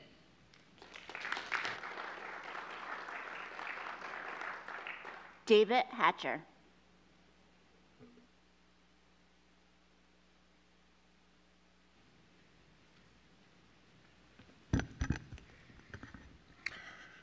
Minutes of meetings under Robert's rules start with old business first and then new business.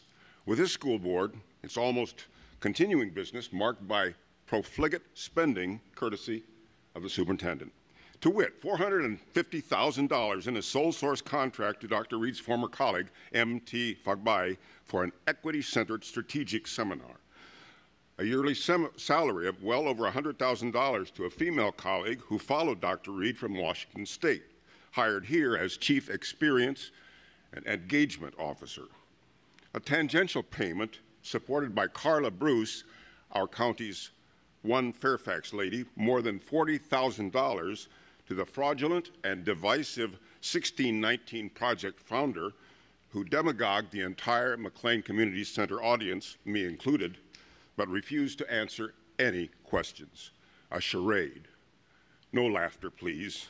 Finally, the lawsuit in April to release the findings behind the National Merit Commended Student scandal payment of an outside payment to an outside law firm of two, almost $200,000. The superintendent has refused to produce the report or any part of it. Apparently, her in-house lawyer is fighting to keep the report secret. What is the school system trying to hide? All this taxpayer money floating around, our money, while overall school enrollment has not improved since pre 2020, down more than 5%. SAT, SAT scores have yet to recover from pre COVID lockdown.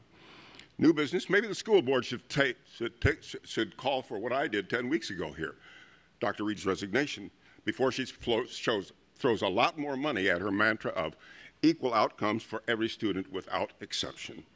That's code for critical race theory, cultural Marxism, and that is no joke.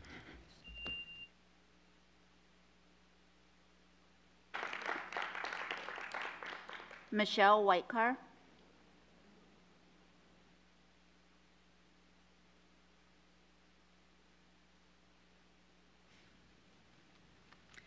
Hi, Good evening. I'm here to talk about overcrowding at Glasgow Middle School. My name is Michelle Whitaker, and I have a daughter who is in ninth grade at Justice High School, and I have a son who was in sixth grade at Glasgow until February when we made the difficult decision to pull him out of the school. I was utterly flabbergasted when a parent told me that their child did not want to go to the bathroom at school because of all the fights. They didn't want to get hurt and they didn't want to get pulled into the trouble. Sadly, I have heard this story from several other parents recently. To his credit, Principal Powell took action. He asked for parent and teacher volunteers to help monitor the bathrooms and the halls. It simply was not enough. Glasgow has too many students, almost 2,000, and it also has sixth grade. Why are Glasgow, Poe, and Holmes Run still sixth through eighth grade schools? They are not consistent with the rest of the pyramids, excuse me, with the rest of the schools in our pyramid. If you modify the population of these three schools to align with the rest of the pyramid, where they only have seventh and eighth, it would instantly and drastically reduce overall school size. Our incredibly dedicated teachers and our children are placed in a suboptimal environment for learning. Our children cannot concentrate and absorb new information when they don't feel fully safe.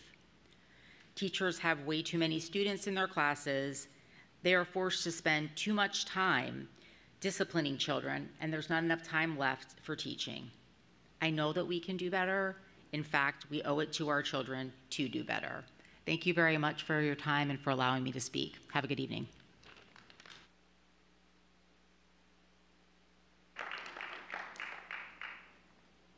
Rachel Herndon.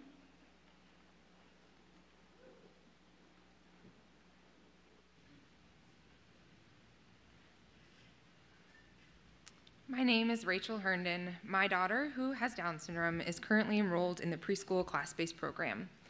She does not have any meaningful access to non disabled peers during her FCPS school day. I'm here tonight again speaking about the need for an inclusive preschool option within FCPS. The benefits of inclusion in the early childhood education setting are foundational. More inclusion in preschool leads to more inclusion and less supports required in kindergarten and beyond. Kids who are included in school expect to be included in their community after school, which leads to better post secondary options and better access to competitive employment. I want to emphasize that this is not a complaint of the teachers, IAs, or related service providers. However, their quality instruction cannot replace learning from non disabled peer models. We are not asking FCPS to reinvent the wheel or diminish existing programs. We are asking for FCPS to provide the least restrictive environment of a regular early childhood classroom when appropriate. VDOE has put out guidelines for how to establish inclusive preschools. All of our surrounding divisions have already done it. At our IEP meetings, we are told that inclusion will come in kindergarten. Our kids cannot afford to wait. Or that we should seek a private community inclusive preschool, and this is simply not equitable. I urge you all to advocate for an actionable plan to bring inclusion to the FCPS preschool program. Thank you for your time.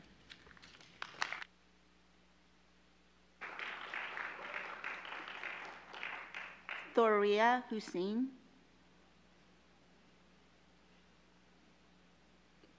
Annie Santi.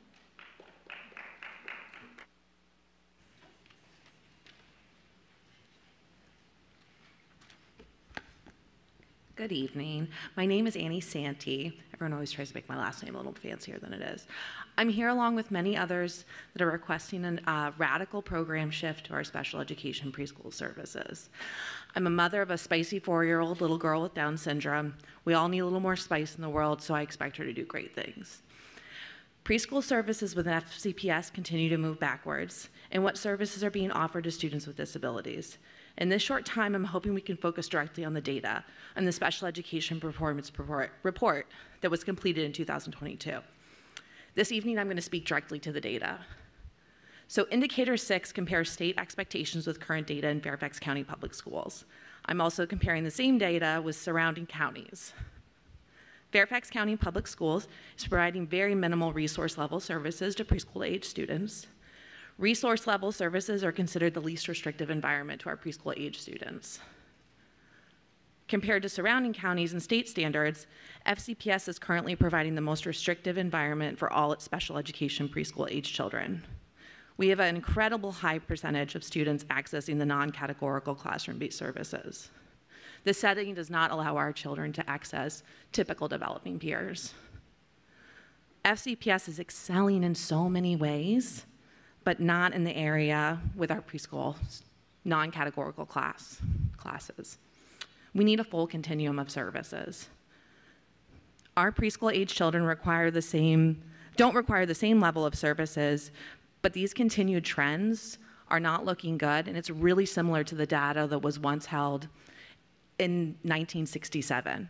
We need to stop moving backwards and start moving forward to give our children access so they require less services and support as they get older. Thank you so much.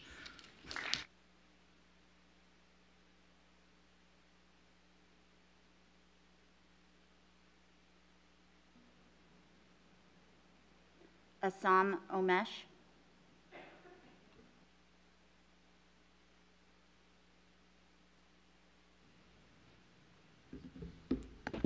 Good evening, everybody.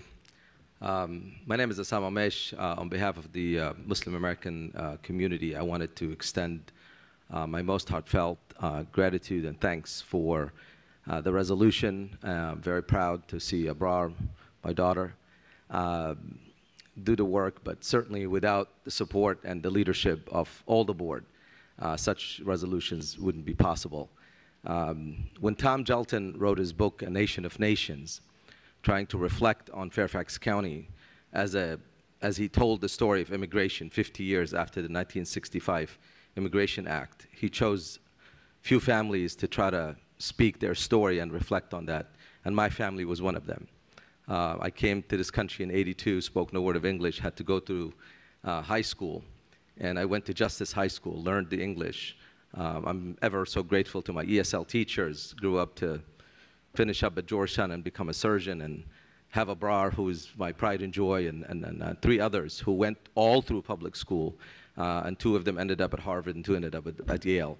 Um, I think it's a testament of your leadership, it's a testament of the system, but it's things like these events that recognizes who we are as one Fairfax and who um, in, you know, brings about the best in all of us is the kind of things that will move our county forward. So thank you for your leadership. And may God bless uh, our county and bless everybody who's been part of it. Thank you.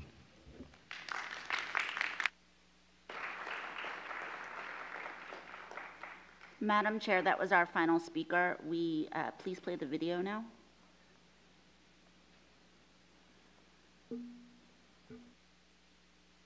Fairfax County Public School Board, Dr. Reid, staff, students, and parents. Assalamu alaikum. Peace be unto you. My name is Shelly McKinney, founder of Mom Network and a mother of a graduate of FCPS. Unfortunately, I can't join you all this evening, but I didn't want this opportunity to pass without recognizing your efforts. On behalf of the United Muslim Network, we would like to take this opportunity to thank all those who worked diligently over the last six years on the calendar, which better reflects our community's richness and diversity. A few weeks ago, Muslim students and staff didn't have to decide between either their faith, work, or school. As Muslims and community organizers, I cannot overstate how much this decision means to us. For the first time, every student and staff member who observes Eid al Fitr had the opportunity to fully celebrate this important holiday with their families and loved ones. Students didn't have to worry about infringing on their perfect attendance are missing necessary tests or assignments. The decision to include Eid al-Fitr as a recognized holiday in FCPS calendar sends a powerful message of inclusivity and acceptance and shows you value and respect the diversity of the communities you serve.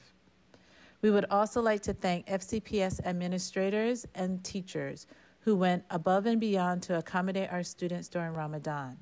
As a result, we've heard from many children and parents in the community, and for the first time, many have felt seen.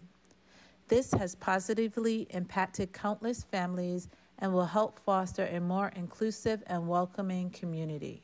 We look forward to working with you all to continue what we've started.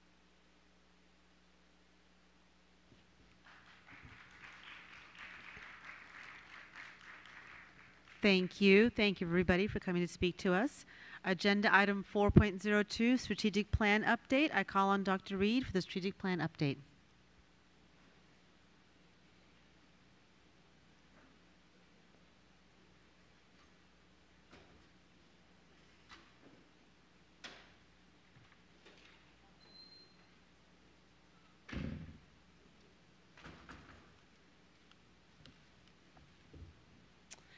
Good evening, Madam Chair, and it's uh, we're getting right down to the wire here on our strategic plan.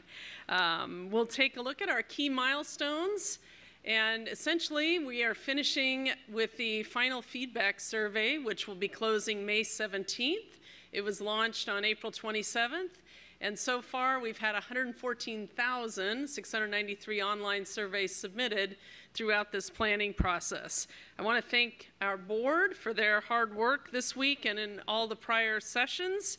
Uh, the discussions uh, all day this week represented the deep commitments I know that each and every one of you have to our students, staff, and families here in the community.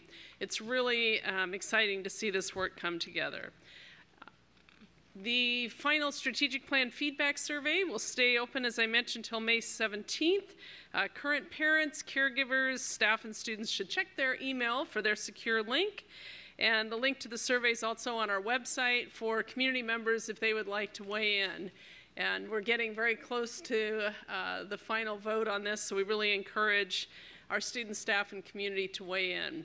To stay connected with this important strategic planning work, we invite our community to tune in to the following meetings and make sure that uh, as we think about the three upcoming meetings, uh, we're going to be really looking at pillars, I believe, at our next uh, work session opportunity. And then the plan will be presented as new business on May 25th with a board vote on June 15 that will set our course till 2030. So that is the report on strategic planning, Madam Chair.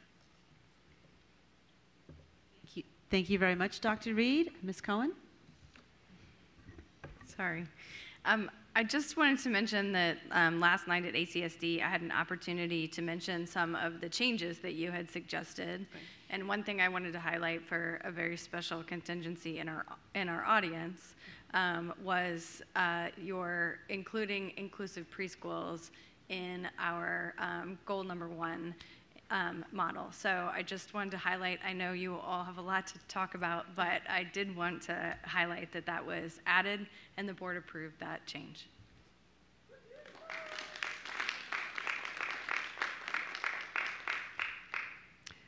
Thank you, Ms. Cohen. Let's pause to make sure no one else wishes to speak before I take my turn. Thank you. And I will just briefly say, um, one, I, um, what Ms. Cohen, what Ms. Cohen said, I was very excited um, at our last retreat that we did add inclusive in our goal one around preschools. Um, I will just say it is something I've been advocating for since my son was in a special education preschool in the second year ever, I believe, of the preschool autism class. So it is a long time coming. Um, and thank you for your advocacy on that piece of it. And I wanted to thank you, Dr. Reid. I want to thank your staff for all the work on the strategic plan. I believe, if I may ask a question, it's over 100,000 touch points. Is that correct in terms oh. of the strategic plan? Well over 120,000, actually. 120,000 touch points on the strategic plan. So we as a board committed very strongly um, back in September. We started our first retreat in August and committed in September that we really wanted the strategic plan to be a place, an avenue for bringing the community together and hearing the community's voices and um, getting the community and our schools and our students and our staff to come together on what our vision for the future of public schools are. So I'm really excited to see this work come to fruition. And I thank you and your team for all the hard work, and I thank the community for all their voices in getting us here. So with that, I will move on to agenda item 4.03, which is academic matters, and I'll call on you, Dr. Reid, for academic matters. Thank you, Madam Chair, and um, I appreciate the gratitude for our staff. Uh, folks have worked really hard to um, create a really robust iterative process with our strategic plan. So I am thrilled, as always, to present academic matters, and this evening I want to share with you um, a report on advanced placement, international baccalaureate, and our PSAT, SAT testing, because there are some updates. So one of the things I want to make sure um, that our community knows is that students who enroll in these classes, AP or IB, are um, and those that participate in the program exams are more likely to graduate high school on time, enroll in post-secondary programs at higher rates, and also um, are able to matriculate through post-secondary education in a more efficient manner. So there are really a number of compelling reasons why our students take um, AP or IB courses and exams. One of the things I wanted to share was some data uh, from 2019 through 2022 to look at uh, essentially our numbers uh, based on AP programs and the pandemic impact as well as our rebounding efforts. Uh, the graph that you'll have an opportunity to look at takes us from 2019 through last spring and 2022. And we have moved from providing 37,000 exams to just over 35,000 exams. And so the mean score has moved from a 3.47 to a 3.32. Uh, we are proud that we have improved from 2021 and certainly um, to a 72% uh, passing rate, which we're feeling very strong, uh, very good about. Uh, however, we have work to do because in 2019 we're at 77%, and of course we'd like to be um, closer to 100% in terms of numbers of three, fours, and fives on our AP exams. Our international baccalaureate exams, uh, as we look at, uh, you can see some similar data. In 2019, we had 9,000 exams provided, and in 2022, last spring, about 8,800. So again, we're rebounding uh, since the 2021 year. And it's uh, at this point, our 4.23 mean score is very close to the 4.22 in 2019. Again, 73% of our students are passing. We do have work to do in that area, but um, we're considering as we rebound post pandemic that this is really strong progress coming back want to remind our community that our board is committed to excellence, equity, and opportunity, and therefore we do invest in these opportunities. The first six AP and IB exams are funded for any student enrolled in an AP or IB course here in Fairfax County. And if our students are qualified for free and reduced meals, they don't pay any exam fees for additional exams beyond the first six. Interestingly, the College Board is starting to offer digital exam administration for certain tests, and FCPS is going to be piloting these uses um, this month. This is going to actually be a fairly significant shift in practice, and so we're really having an opportunity to share with our community earlier and earlier about what might be a, a good preparation for that. I also want to share that the commitment that our board, our elected board, has made to um, equitable access to PSAT and SAT school day testing has been really a critical um, feature of planning for post-secondary.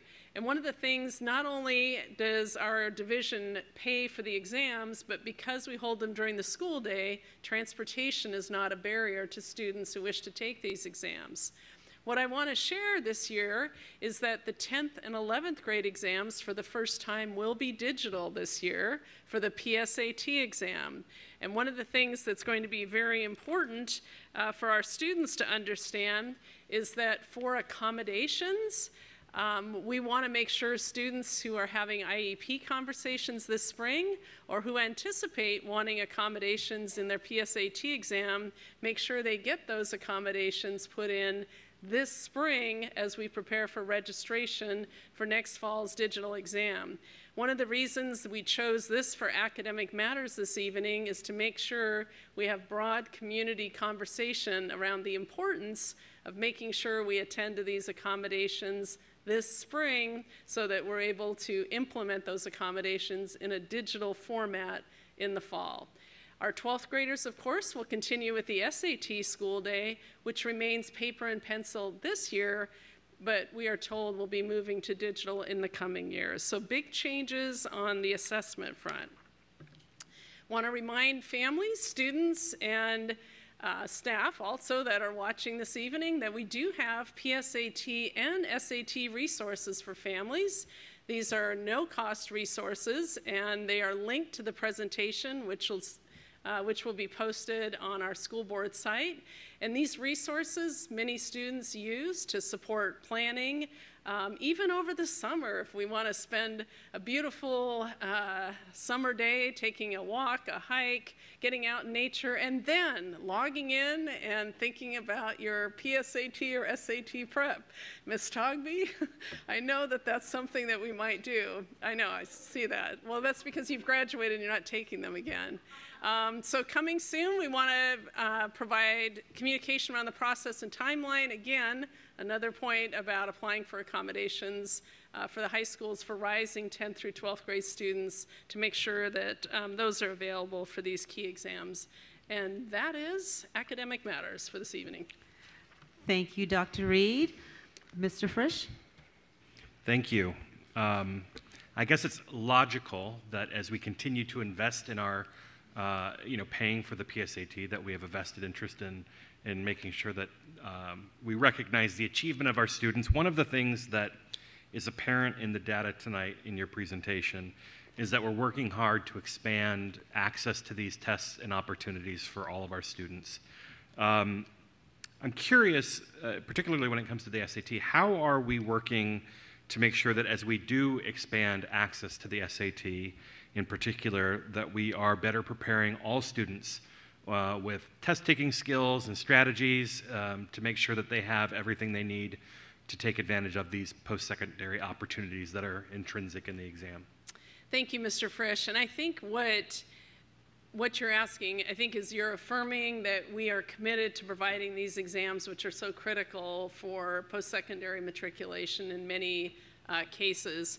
What we also know is that there have been inequitable opportunities for students to access test prep programs, uh, which often exist in the community and are a pay for prep program.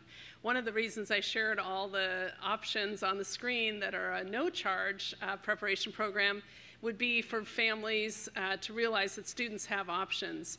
I do think, though, as you're making mention of that, there's really probably no substitute for that face to face tutoring and support around the algorithms and strategies for the PSAT or SAT exam. And we're currently exploring what those more intensive, intentional preparatory uh, programs might look like and how do we make sure that students across the division have access to those. So I appreciate you raising that up. Well, I appreciate the presentation tonight. Thank you. Thank you. Dr. Anderson? Thank you. Just kind of along the lines of um, some of Mr. Fisher's questioning, I'm looking at, I don't know what the slide number is, but the one with the AP placement exam information, um, where obviously we are increasing um, number of exams that are being taken from last year, particularly from 21, uh, but not yet at the pre-pandemic levels. Um, but we also see an increase from last year in the number of students that are passing. My question is, do we have a goal it, it's fine to see these numbers, but I'm wondering what is that? Does a division have a goal that will have X percentage? Because it's hard to give it, I think, an exact number. But do we have a target that we're trying to, to reach in terms of the number of exams and the percentage of students passing those exams? So thank you, Dr. Anderson. I, I don't believe we have a target at the moment. Um, of course, we always want to see as many students passing mm-hmm. the exams as possible. And I think we're currently involved in the assessment of where do these AP courses live, where are they offered, because we can't increase the number of students taking the exams if we're not offering the courses. So there's a great deal of discussion, particularly connected to our new strategic plan, around looking at course taking patterns across our secondary schools throughout the division. No, thank you for that. That actually um, forecasted my next question, um, which is how do we increase the opportunity? Um, so thank you. Um, you also talked about the exams that are going to be now virtually um, not virtually, digitally administered. Does that provide a savings to us if that is the format? I'm not aware of that providing a savings to us. Uh, in fact, it's the only way they're going to offer it. Mm. So it's really if our students are going to participate in the PSAT exam, that's the exclusive manner in which they'll be able to take it. What I will say is we have been told that the turnaround for scoring will be um, mm-hmm. more efficient on a digital platform. Sure. So perhaps we may move into a different type of layered notification strategy as right. well. I, definitely remembered when the SOLs went digital and how quickly you can get the assessments. Teachers Right. were literally lining up at the door after school to know how their classes did. So I, I think we'll get the same here. And as someone who's administered the AP and IB tests, and the manpower that it requires to really um, address the number of students who are taking this, having a, an electronic administration will be very helpful and will reduce, I think, the, um, the burden on our schools to produce proctors, et cetera. So very excited to hear that. Thank you. Thank you. Thank you, Dr. Anderson. Ms. Cohen? I just want to take a quick second to thank um, our staff. Uh, we had the first AP exam ever in our home uh, this week, and I was beyond impressed at the staff who ran um, reviews at night and had the kids log on, log on, ran some during the weekend. I mean, really went out of their way in times when I know they have to be exhausted to make sure that every kid in their class, this was AP World, um, felt like they were prepared for the test. And as a parent, I, I just, I can't say enough about how much we appreciate it because we would have been very poor preparers for um, our son's AP World History test. So thank you, thank you, staff. Thank you, Ms. Cohen. Thank you. Ms. Corbett Sanders? Thank you, Madam Chair, and thank you, uh, Dr. Reid. This was a very informative uh, presentation. I have a couple of questions. First, um, I was pleased to see the AP and IB, but what's missing here is the dual enrollment. And we know that for many of our students, dual enrollment is um, a guaranteed college credit. And um, we know that we are working towards trying to make sure that if, that they can get as much as an associate's degree while they're in high school. And so I would hope at some point in the future, you would come back and um, give a focus on the dual enrollment. Um, Secondly, I'm very pleased to hear about the digital uh, administration of the test, but I do have a concern, and I don't think you're going to have the answer tonight, but I'm just going to put it out there. We have many children with IEPs and 504s and accommodations for test taking. And um, I would like to understand what we're going to do to ensure that as we migrate to a digital environment, that um, those accommodations are provided. Um, oftentimes, there is a different um, impact on how students process uh, information based on it being on a uh, on a screen versus in uh, by hand. And I don't know, are you planning on having any accommodations where a student could take it purely by hand, or is that not an option anymore? I. As Ms. I said, you don't have to do you answer know it if- tonight. Yeah, I think Yeah, we- I, I'm not sure that we know, but these things will be probably dictated by College Board, and we'll work with them closely once we get the um, list of accommodations. There will probably be some accommodations that are more easy for staff to meet with digital, but you are correct, there have been times when um, different accommodations for paper and pencil have been needed. So we'll, we'll have to get back to you on it. I would, I would, thank you, Ms. Klemenko. I would also indicate that Dr. Boyd has alerted all of our case managers, IEP case managers, to make sure this is a topic in IEPs for those students who will be taking the exam. I don't know if you have a comment on that, Dr. Boyd, in terms of our uh, plan to communicate that to IEP case managers and 504 case managers.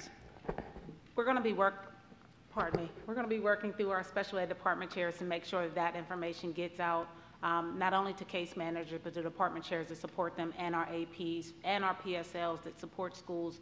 So again, that multi-level um, layer, given, as Ms. Clemenco said, accommodations requested through the um, College Board, um, that process oftentimes is much different than accommodations for SOLs and things like that.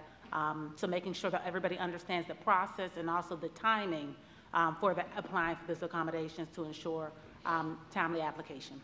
Thank you, Dr. Boyd. Given that um, these tests are usually administered in October, and it takes sometimes a couple of months to get the accommodations, I would ask that prior to students going home over the summer, that there be a notice uh, provided to families as well of ninth graders, as well as the information posted on every one of our high school um, websites so that they're aware of the change to digital and they can make the appropriate uh, planning or do the appropriate planning.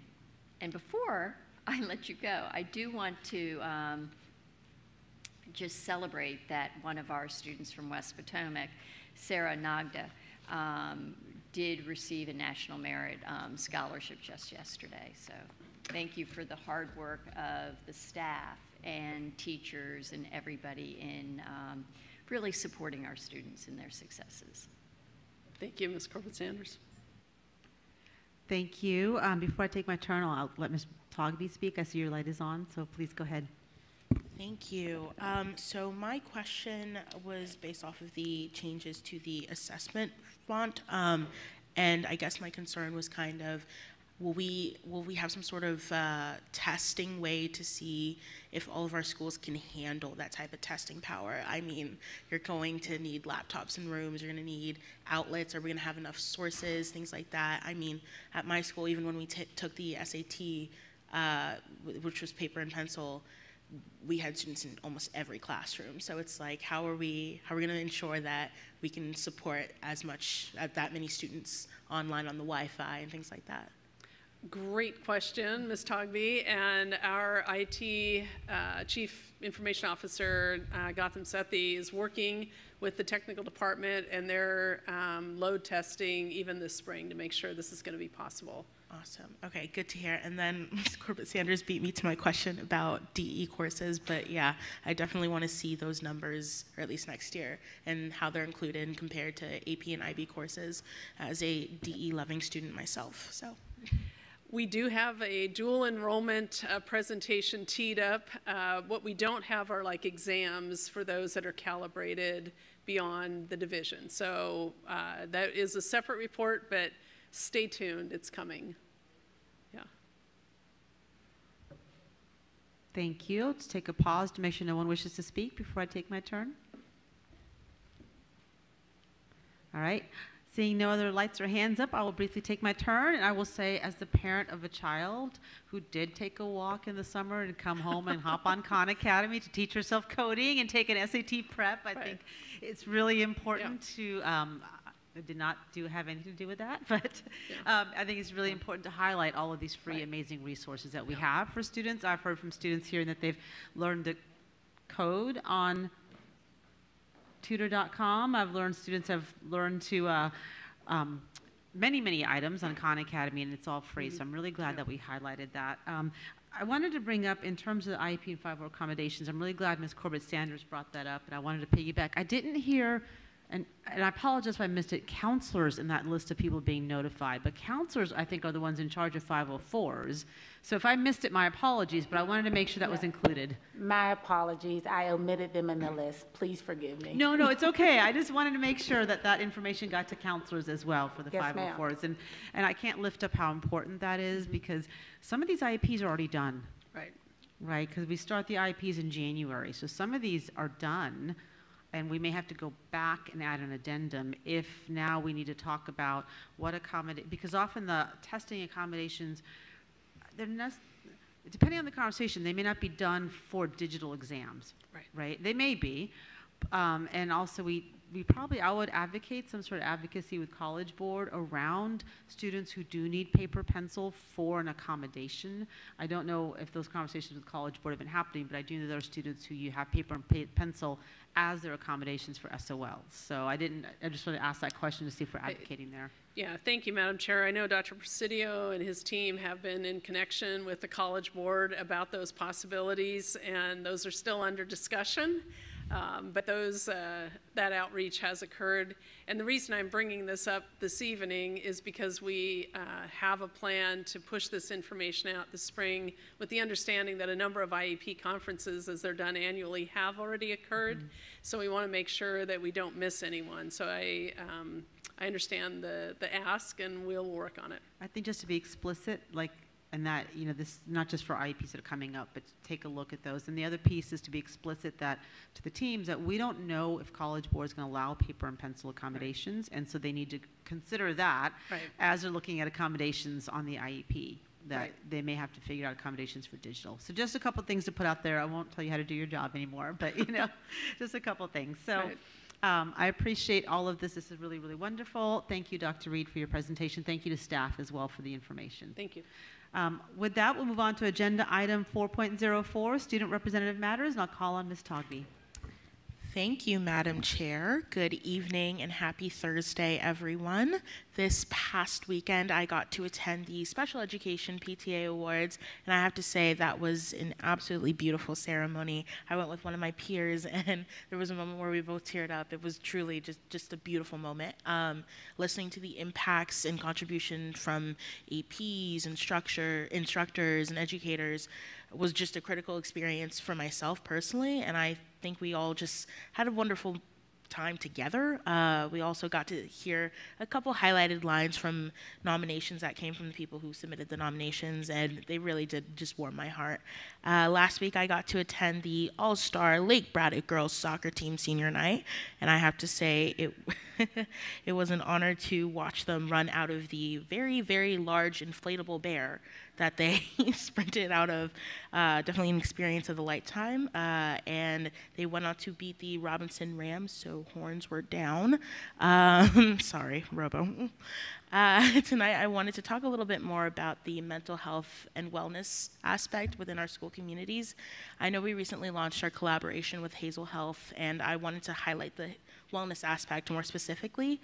Wellness can look like a multitude of things. It can look like having class periods outside to ensuring that the food and lunch lines are not only filling but nutritious for students. And these small things all play a role in emotional, psychological, social well being, and that affects how we think, how we feel, how we act. And it's so important that you all, as a board, support a culture of wellness within our schools. I don't need to go over the numbers and rehash the data to you all because I know you guys know this. Um, and I know you're all also working hard to promote that environment of well being. But as someone who's getting ready to leave a building that I was in for four years, I can't em- emphasize it enough that there needs to be a cultural shift within the environments. Um, I also recently got to have a reflection based meeting with all the students that were chosen to serve on the advisory committees for this school year. Um, I got to hear some amazing notes about how students felt as though they were actually in a space where their day to day experiences within the classroom, within the hallways, were actually seen as a critical point of view, but also welcomed, uh, which is to be completely frank, does not happen very often, and it's incredibly disappointing that it doesn't. But this year I took a different approach than the other student representatives before me when it came to applications because I really wanted to focus on finding students that I knew would have a unique and important perspective to bring to each committee and I felt felt as though I did exactly that. So I'm super proud of all the work that they've done and I know that they are too and I'm very very excited to just gotten to have known each and every one of them. And lastly, I know that it is production season for spring shows, so I will be at Woodson this weekend to watch Little Shop of Horrors. So please check out your local school's website to support their theater departments. Thank you, Ms. Togbe, and I see as busy as ever. Um, Thank you very much. I will move on to agenda item 4.05, Superintendent Matters, and I will call on Dr. Reid.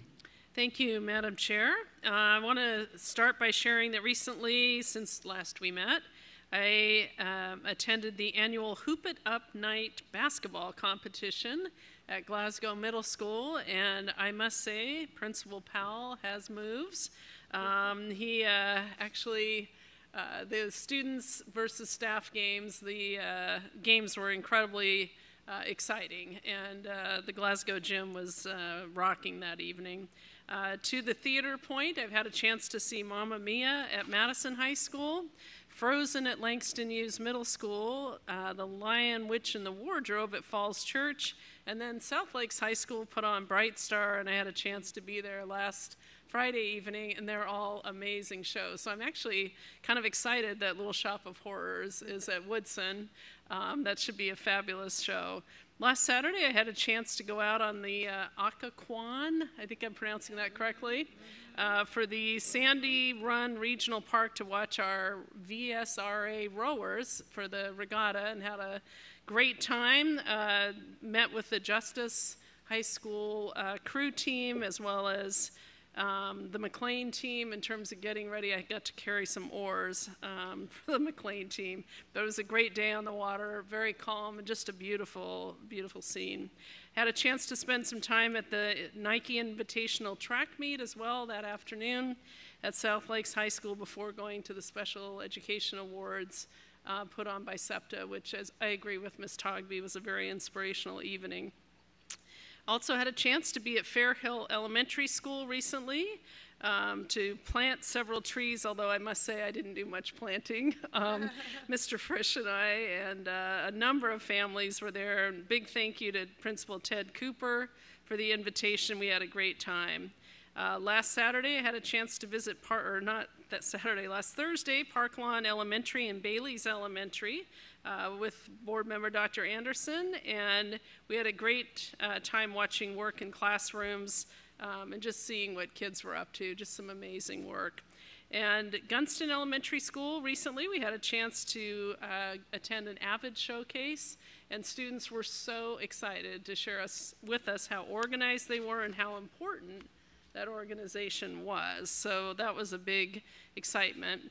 On Saturday, April 29th, our Department of Special Services uh, hosted their 18th annual Special Education Conference uh, with the theme of unity within our FCPS community, every student, every educator, every family. It was a fabulous day of learning. And then I recently had an opportunity to attend the Open Door Presbyterian Church International Festival, which is an event held annually in Herndon. And there were thousands of people at that event as well, and had a chance to uh, provide some art awards for a number of young students who produced some incredible art with the theme being empathy. So um, finally, just want to share that this past Monday we had a community conversation at South Lakes on safety and security. And really want to thank uh, Tom Vaccarello, our Director of Safety and Security, and staff, and those that attended. I think it was a really thoughtful conversation. And lastly, uh, this past Wednesday, I had the oppor opportunity to join the We Honor You retirement celebration for all of our employees that were retiring with over 3,000 years of experience. Um, pretty epic event, and just had an opportunity to meet a number of amazing people committed to this community. So that is my report, Madam Chair.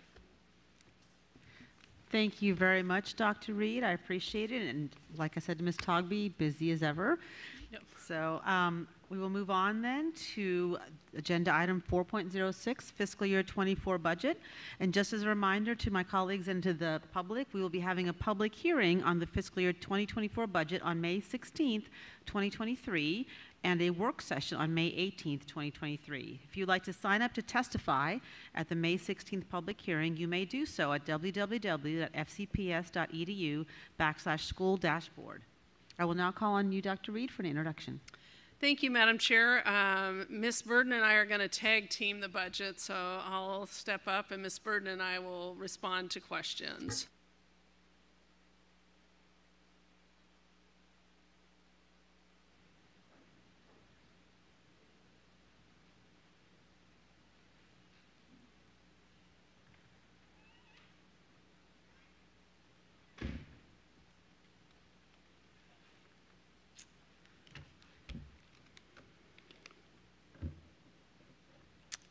So, good evening. And um, early today, as I was uh, turning the corner to go to a meeting, I ran into several staff members um, who were really excited and said, Well, this is a really big day. And I said, Well, it's Thursday, I know. And they said, No, it's the budget day. So they were really excited. So I became um, obviously much more animated about this topic and really excited to have the opportunity to present to you this evening our approved budget for fiscal year 2024. I want to begin by thanking our budget chair, Ms. Tholen, uh, for her leadership and steady guidance through this process this year, and her assistants, uh, Ms. Stella Pekarsky, who helped with the budget this year, and just really, um, this is a just a huge task, and really appreciate the steady leadership.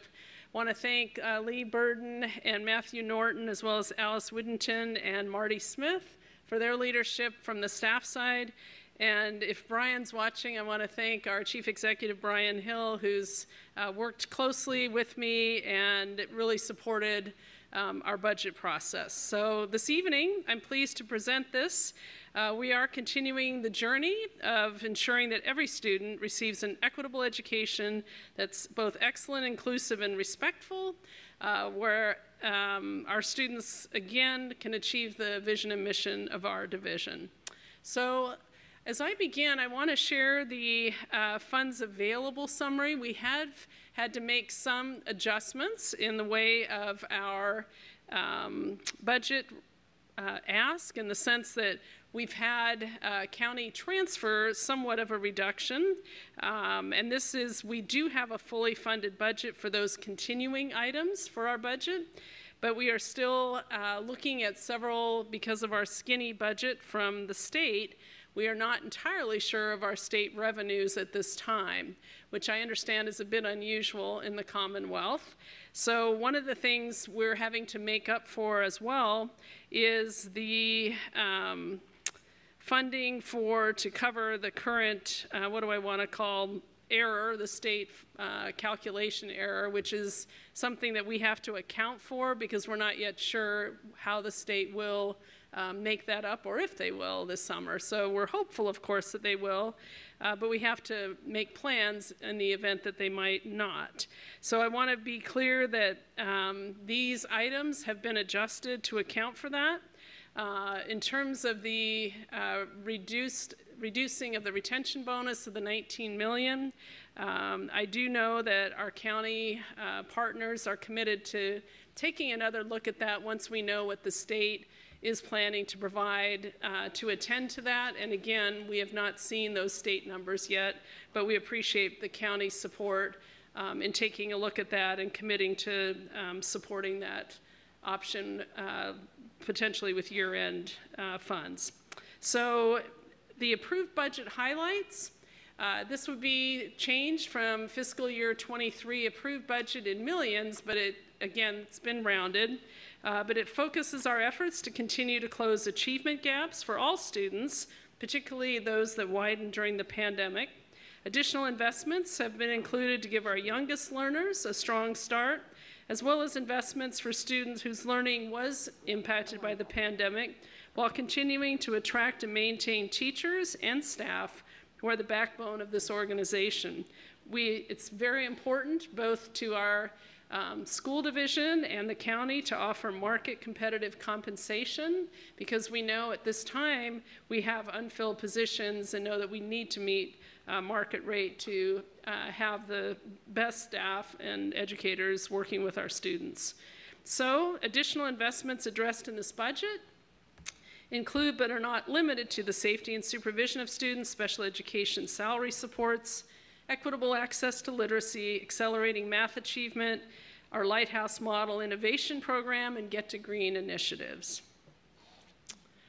Our revenue overview for fiscal year 24 reflects a county transfer increase of 144.1 million or 6.3%. This is primarily to fund the step increase for all eligible employees a 3% market scale adjustment for all employees and comprehensive benefits.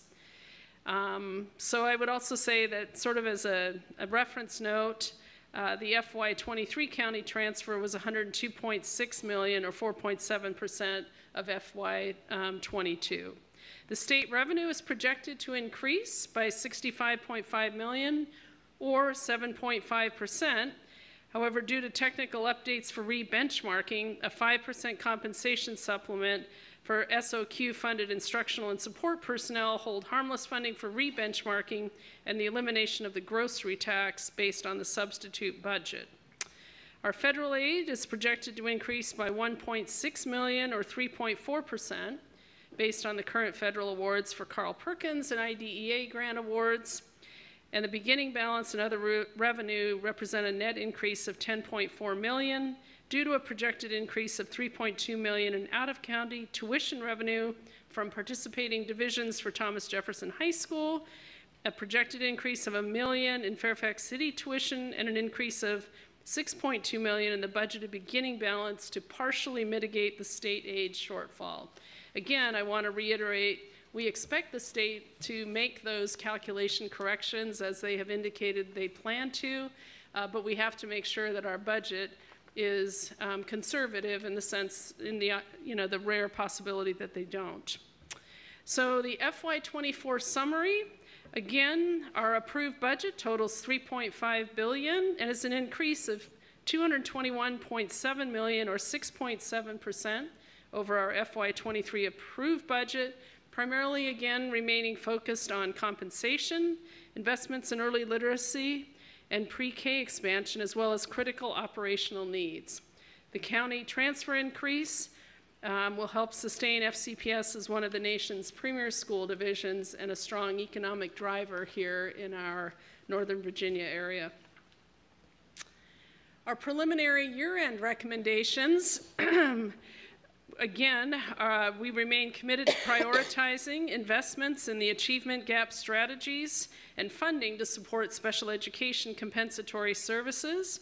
Additionally, through the budget process and as part of concerns raised at public hearings, we support additional investments in the fine arts staff stipends, a multi-year plan to add additional certificated athletic trainers for our secondary schools, and an enhancement to administrators and Schedule C salary scales to retain our administrators and provide competitive compensation.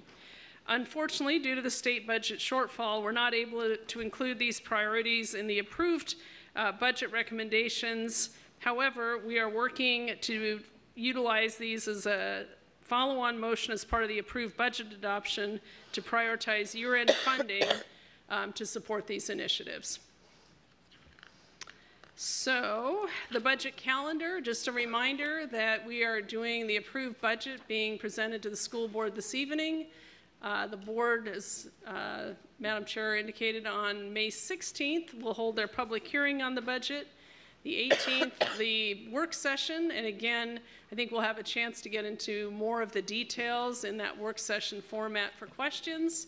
And then on May 25th, the school board will approve the um, budget or adopt the approved budget, and July 1, FY24 begins. That is the um, budget presentation. And Ms. Burden and I stand ready to respond to questions. Thank you, and I look forward to really digging into this at the work session. Um, but in the meantime, I'll turn to Ms. Tholen. you like,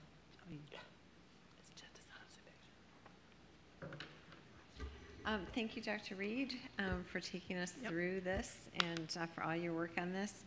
Um, I did want to take another opportunity just to thank our um, counterparts at the county, our Board of Supervisors, and, um, and Bryan Hill at the county for um, being generous with us and continuing the conversation as we look at year-end funds at the county level and in our with our funds as well and just waiting to see what the state is up to. Um, appreciate their partnership for sure.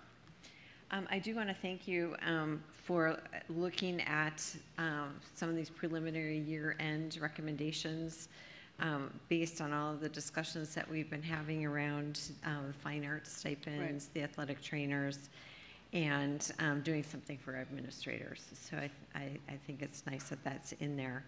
Um, and you know we can continue conversations on you know what else might end up in year end. Right. I know um, perhaps with your conversations earlier this week around safety and security, that might be something we could look at too with our audit coming, um, in the audit results coming in the fall. Uh, but anyway, thank you so much. Thank you to our budget staff uh, for all the work that you've done on this, and I look forward to um, having our work session with my colleagues to see um, you know, what the further discussions will be. Thank you, Ms. Tholen. And I, again, want to reiterate our appreciation for our county partners for fully funding our ongoing expenses. We really appreciate that. Thank you. Ms. Corbett Sanders? Yes, thank you. And thank you, Ms. Tholen, uh, Ms. Burden, and the whole team. It has uh, been a tougher budget year than I think anybody could have expected.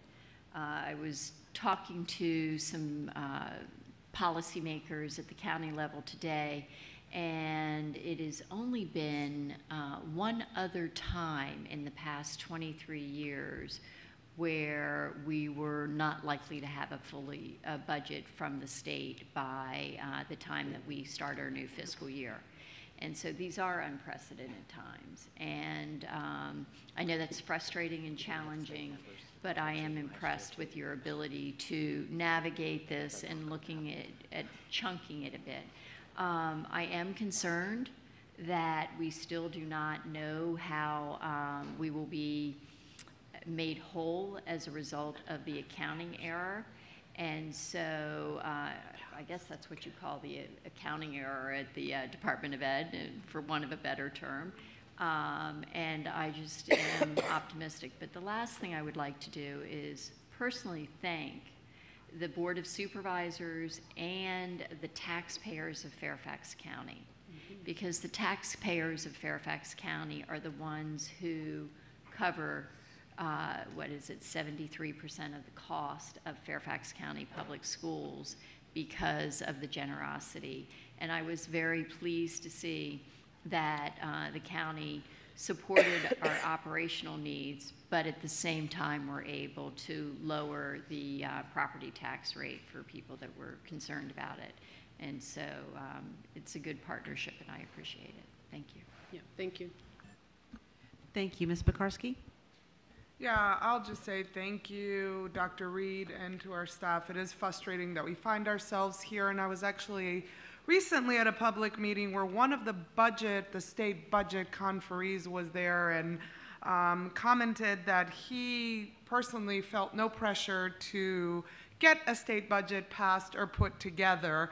Um, so it is unfortunate that our uh, state folks don't understand the impact that it has on local schools and the work we do here. So thank you for being agile and for trying to work around that. Um, and hopefully things will fall into place.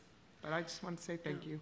Thank you, Ms. Pekarsky. I, I think we have really grave concerns about the the uh, intersection of not having a secure, um, predictable state budget with needing to hire, because with this shortage of education professionals and not being really clear about the revenue in many, you know, in, in some areas for sure, it just makes it that much more challenging, I think, to make sure we're fully staffed.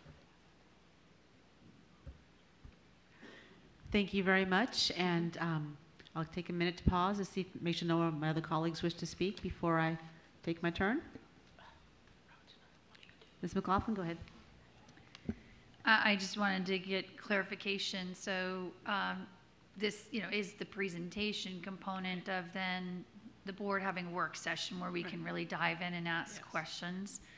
So um, I would just say that things that continue to be a concern for me is that uh, we know, um, looking at the the national economic landscape, that uh, this year is a really good year, but um, the forecast is not looking as promising for the following year as we will roll into, for the very first time, um, collective bargaining. So I, I do hope, Dr. Reid, because uh, you haven't even been here a year yet, but I think you've heard my advocacy consistently that we cannot keep looking at our budget as it's a, a um, sacrosanct you know, entity, and we'll just keep layering on however much money we can, you know, bring on. Um, I think at some point, um, some of us have said over time that we need to be looking at uh, what is state and federally mandated, and that's our base because that will always have to be in that budget. And then we have to holistically look at all of our competing needs. And I, I do hope that with the passing of the strategic plan, um, that it won't be just in words, but in action, that, uh, that your team will really understand that we can't just keep getting the same budget year after year and just layer on new money. Um, I just, I, I do think that we would benefit from looking at where we are having the best return on investment to help our students and compensate um, our valuable staff. Uh, but I, I don't think in my time that I've really seen intentionality there, and I'm hoping we will. It'll be uh, really my last time voting, va- voting in May on this budget. Um, And then it's going to be the next board. Carry on the work. Thank you. Thank you, Ms. McLaughlin, and thank you for all the work you've done for 12 years. Not yet. So, um, again, seeing no other hands that wish to speak, I will go ahead and take my turn. And I just wanted to say, I know we have a work session, so I will save most of my thoughts and comments there. But I, I wanted to thank you and your staff and our budget chair and vice chair, Ms. Toll and Ms. Pekarsky, for all the hard work to get us to this point. And um, I do want to thank the Board of Supervisors for their strong support. Um, it is unprecedented and difficult time. I'm very impressed at your team's nimbleness in adapting and adapting again uh, with our budget without knowing full numbers, but I appreciate the Board of Supervisors for expressing a strong support for our schools and a strong support for our teachers, understanding that they really are the backbone. We can't have an excellent education without supporting excellent teachers. And so I appreciate that they're really supportive of our schools and our staff. So with that, um, I thank you very much for the presentation, Dr. Reid. Um, and Thank you. Thank you. You may not want to go too far. Um, we're going to go to agenda item 4.07. If you have information to bring, it's um, Regulation 2.2601, Students' Rights and Responsibilities, SRNR. Um, and just also a reminder, we'll have a work session on the proposed changes to the Students' Rights and Responsibilities on May 23rd, 2023. Um, but for more information on the um, changes to date, I will call on Dr. Reid for the introduction. Thank you, Madam Chair. Um, I'm, I'll be introducing Dr. Boyd, who's going to come up and provide the presentation. I want to share with the board that, as is our tradition, this is the first presentation of the student rights and responsibilities. We do have several meetings scheduled uh, to continue our work uh, on this, and our principals uh, will be continuing to provide feedback. Uh, so this is our um, first iteration, and uh, we also have a works, uh, work session scheduled on this topic. So Dr. Boyd is going to be fairly succinct in this presentation because, as it's been noted, we do have a work session opportunity to review in more detail uh, the student rights and responsibilities. I also want to share that I know we had a meeting even this morning where we're really looking at uh, likely as uh, response to conversations uh, and concerns around discipline, we really are looking at working with our principals to be more clear about what the expectations are around behavior, clear around our consequences, because the consequences are only going to be effective if the behavior changes. And we're realizing that we have some work to do, so uh, there will be some adjustments I believe that you'll see after uh, this evening and after we continue our work and um, at our work session. So I'd like to introduce Dr. Boyd. Thank you, Dr. Reid, and good evening. Again, as Dr. Reid shared, I will be brief, um, fairly brief this, this evening. So if we'll move to the first slide, you see that we have a number of outlines that, again, we're just going to touch on very quickly. As we go to our first slide, we do review our uh, SRNR in an annual process in accordance with the model guidance. And during that annual review process, we look at legislative updates, the model guidance, and engage with a variety of stakeholders. You can move forward to the next screen. Yes, thank you. And now moving on to slide four. The review of the SRNR begins shortly after the start of the school year to ensure there is ample opportunity to engage with a variety of stakeholders, to look at data, and to have the legislative updates. As Dr. Reid shared, illustrated on the screen, we will have a work session on May 23rd. On our next slide, it shows the seven areas that we're going to review during this year. Moving forward to look at our first area of beliefs, belief statement, ultimately we've incorporated a belief statement that includes language um, at the beginning of the SRNR to really set a positive tone and really focuses on the fact that students can achieve their best in a positive and inclusive environment and that teaching is central to discipline, really in ensuring that our students have the skills needed to make uh, responsible decisions and problem solve. On the next slide, in addition to the belief statement, we have included seven values, and those values include collective responsibility to model desired behaviors, respectful and restorative discipline practices, implementation of discipline in a differentiated and equitable manner. And on the next slide, uh, explicitly condemning all forms of hate speech, harassment, hostility, and marginalization, um, and implementing discipline in a manner that's enforceable and effective. Finally, in looking at our values, we plan on implementing interventions that support accountability and restorative practices and implementing practices that foster mutual respect for all stakeholders. Our next area that we are proposing to revise is a dress code. You'll see on the following slide, we've highlighted some information from the Virginia Code that we've really used to ground our thinking around the dress code. And on the next slide, we highlight some important areas in our revised dress code. We highlight uh, four categories, required attire, optional attire, prohibited accessories and attire, and dress code enforcement stakeholder responsibilities. The detailed dress code can be um, found on board docs and is available for stakeholder consumption. The next category that we have proposed revisions is within substance misuse. And generally speaking, there are two revisions. The first is the addition of language that requires uh, students to provide parental consent for the participation AOD intervention within three school days to have a uh, lesser consequence for first violations of substances, excluding distribution. The second area within substance misuse is that we have revised our minimum behavior response level uh, to be similar to that and aligned with the minimum response level in the Virginia guidance. And looking at discrimination and bias, we have a couple of items here. First, we have revised the definition of discriminatory harassment to provide more specificity to ensure all stakeholders understand um, and have a clear understanding of what discriminatory harassment is. Um, similarly speaking, the team is also establishing systems and processes on our next slide um, for students and families to report concerns relative to allegations of staff harassment or bias to students to ensure their systematic process um, and a documentation and follow-up process that is, again, implemented with fidelity. The next area is hazing and bullying. Um, hazing, ultimately, we have aligned and revised our minimum SBAR level to reflect a level five only to be in alignment with the Virginia Code.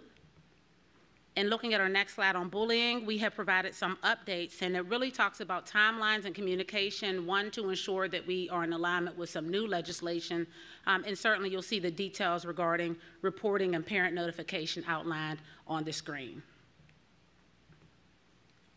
And looking at our next slide, we've included some examples of definitions around power imbalance to again ensure all of our stakeholders have a better understanding and clarity around what bullying is and what it is not.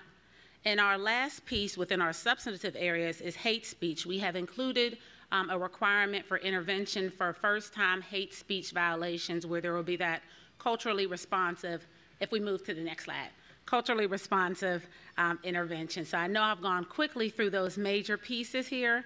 And then very quickly at the end, we have highlighted um, some other proposed revisions. If we move to the next slide, we're going to first look at We've included a definition of the uh, administrative response process in the SR&R to include the all stakeholders understand. And we've also highlighted that this is a local voluntary process and is not a prerequisite to any dispute resolution options under the VDOE.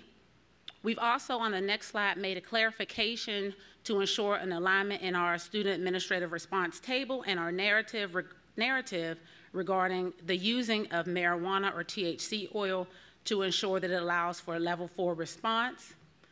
And then finally, a listing of other proposed revisions that are um, in our existing SR&R that are relatively minor in nature.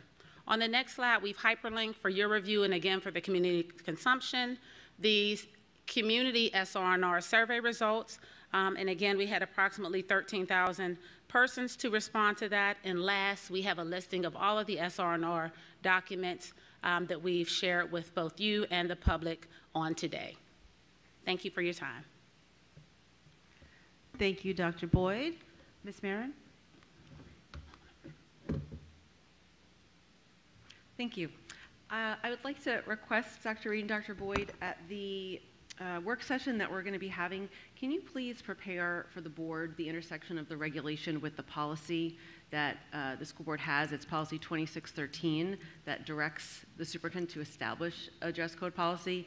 It was last updated in 2016, which unfortunately is um, more than the five years that the board strives to, to review. But more importantly, this is a discussion that we've had on the board for some time. Where does the line of the board's policy and the interpretation, the regulation go in terms of the board setting the values behind what then drive the regulation? Um, you know, given that it hasn't been reviewed in a while, I, I have not experienced an SR&R regulation review process that ever speaks to the policy. And so um, whether that's something that goes through governance or just something for your team to review, really when I think of the conversations that governance has had, I, I think that would benefit the, the conversation if you could please, um, and I'm happy to hear other colleagues' thoughts on that. Uh, the other question I had um, or request is, and I will of course review all the materials, Dr. Boyd, but you know, in SR&R, addressing um, student when students make poor choices and make threats, particularly threats of gun violence or violence um, in their schools. Um, I, I, don't know if that's explicit, but just given the caliber of everything lately, um, it just seems like we need to be more explicit about what happens in those instances, where does that fall on the discipline matrix. And one other thing is there's been discussions um, around, you know, just hearings process and ensuring that's all you know shored up and, and serving our students in the best way. I don't know if that comes during this part, if it's related to when we update the SR&R, but do we also review hearings processes and make changes and strengthen them depending on what comes forth in the regulation? So those are my questions or my comments for your consideration, please, for the work session. Thank you. Thank you. Thank you, Ms. Meren. Ms. Omeish? Yeah, thank you. Um, uh, and, and thank you, Dr. Boyd, for some of the thoughtful changes here, uh, or proposed changes. Um, I did want to ask about a couple of things. One, and I know I brought this up before, but um, maybe in advance of the work session, some time can be spent on it, or some thought can be given to it. Um, specifically on differentiating explicitly the differences in how we discipline uh, possession of like a, gu- a gun if it's not an actual firearm. Like if it's a BB gun or if it's a water gun or whatever it might be, obviously there's a range of, of types. Yes, ma'am. We'll be sure to have that prepared for you.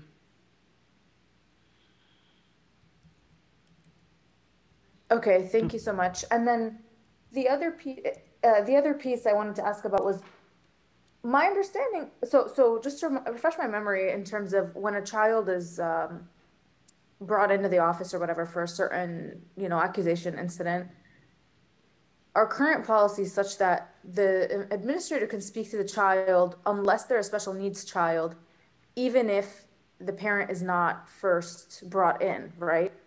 Correct. So yeah that's another area that um, I really want to look into, like the possibility that we make that universal. I know we have the MOU where, you know, for special ed kids specifically, that we have to contact their parents before we talk to them. But kids can be incriminating themselves for all kinds of things. They can be nervous, scared, whatever. They can say things. And we've certainly seen that in some cases. Um, so that's one. Just in terms of bolstering student rights, at the end of the day, it is their parent or guardian, um, and they're under 18, you know, potentially signing themselves up for a disciplinary procedure they might not even understand or they might not know their rights.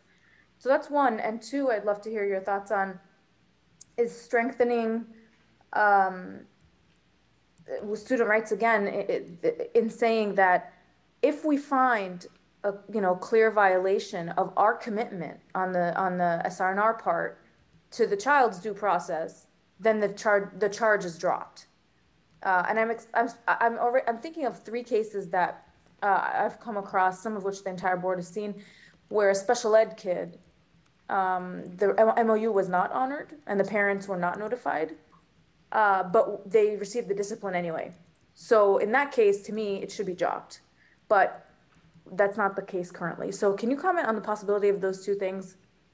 Um, we'll certainly look at that. I want to make sure that I'm thoughtful and my statements reflect our, our collaborative thinking. So if it's okay, if we can follow up and provide that feedback at the work session, that would be um, preferable, if that's okay with you, Ms. Omeish. Would that be all right? Yeah, I, I guess just to be efficient, it would be useful if you could um, maybe give it some thought in advance of that, and then so that we're not, I'm not asking the same question and being at the, we're at the same stage right now. Yes, ma'am. I would certainly follow up. Do you have, okay, I, I don't know if you have any thoughts. So, so right we'll now about- definitely follow up. I, I do hear your concern that if there's procedural areas in the handling of conduct, um, is, can there be pretty much a, um, a waiver, if you will, for disciplinary consequence for students. Um, I'll say that again, and this is prior to consulting with our collaborative team. Um, I think that in some instances that might put a greater safety risk for students. So we probably would not want to make that a blanketed statement, but we can certainly interrogate the process and be reflective and think on that before um, our work session and follow up. Can you just help me understand the safety risk? So, for example, if somebody did not have a, um, a parent available or parent uh, present when they questioned the student, but the student had a weapon, um, uh, dismissing or not providing disciplinary consequences if student, for example, had a handgun, um, I'm not sure that we would want to do that, um, or some of the other severe infractions. But again, uh, we want to have the opportunity to take the time to come back, collaborate, um, and just reflect on that process and be thoughtful about it. Yeah, I mean, I can imagine certain, you know, um, levels of that, right? And then th- those could be accepted if, if it's a safety issue. But I mean, a, a gun can be taken before the child is interrogated, though, right? That's typically what would happen. That the interrogation of the child or the writing the kind of witness statement, that kind of thing, is separate from actually seizing the weapon, right? Ms. Omeish, that was your time. I'll let Dr. Boyd answer that question.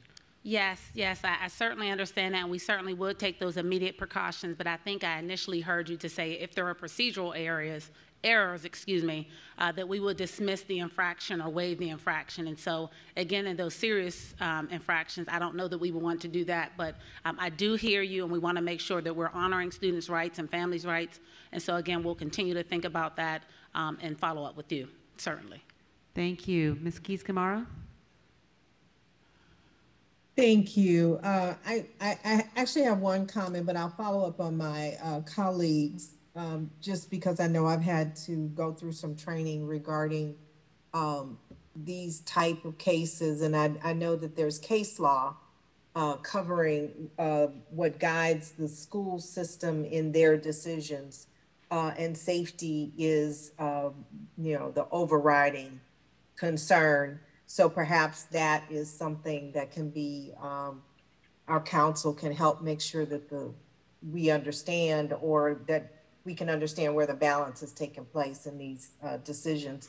Um, I did want to talk a little bit about bullying because in a number of my conversations, I do hear parents trying to understand um, what what is happening in terms of their understanding of bullying and what we're reporting and how we're investigating that.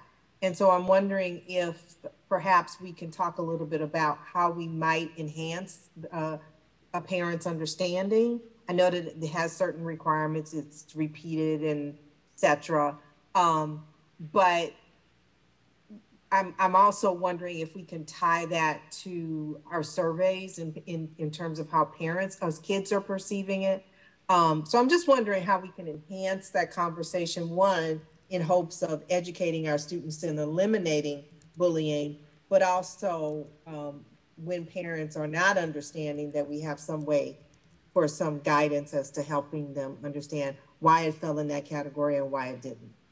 Ab- Absolutely. Um, and actually, we were speaking today when we met with MSPA about this very topic. Um, we know that bullying is an area of concern um, and any type of really um, conflict that might adversely impact school climate. So we want to make sure that students understand what bullying is, what conflict is, how we're going to respond, um, because whether it constitutes bullying or peer conflict or other things, um, none of those are supportive to a positive learning environment. And so we talked about developing videos or other materials that might be user friendly around bullying because that has been an area that we know that we've had some um, um, concerns from families in trying to understand why something was or was not classified as bullying and then what is our responsibility as a school division.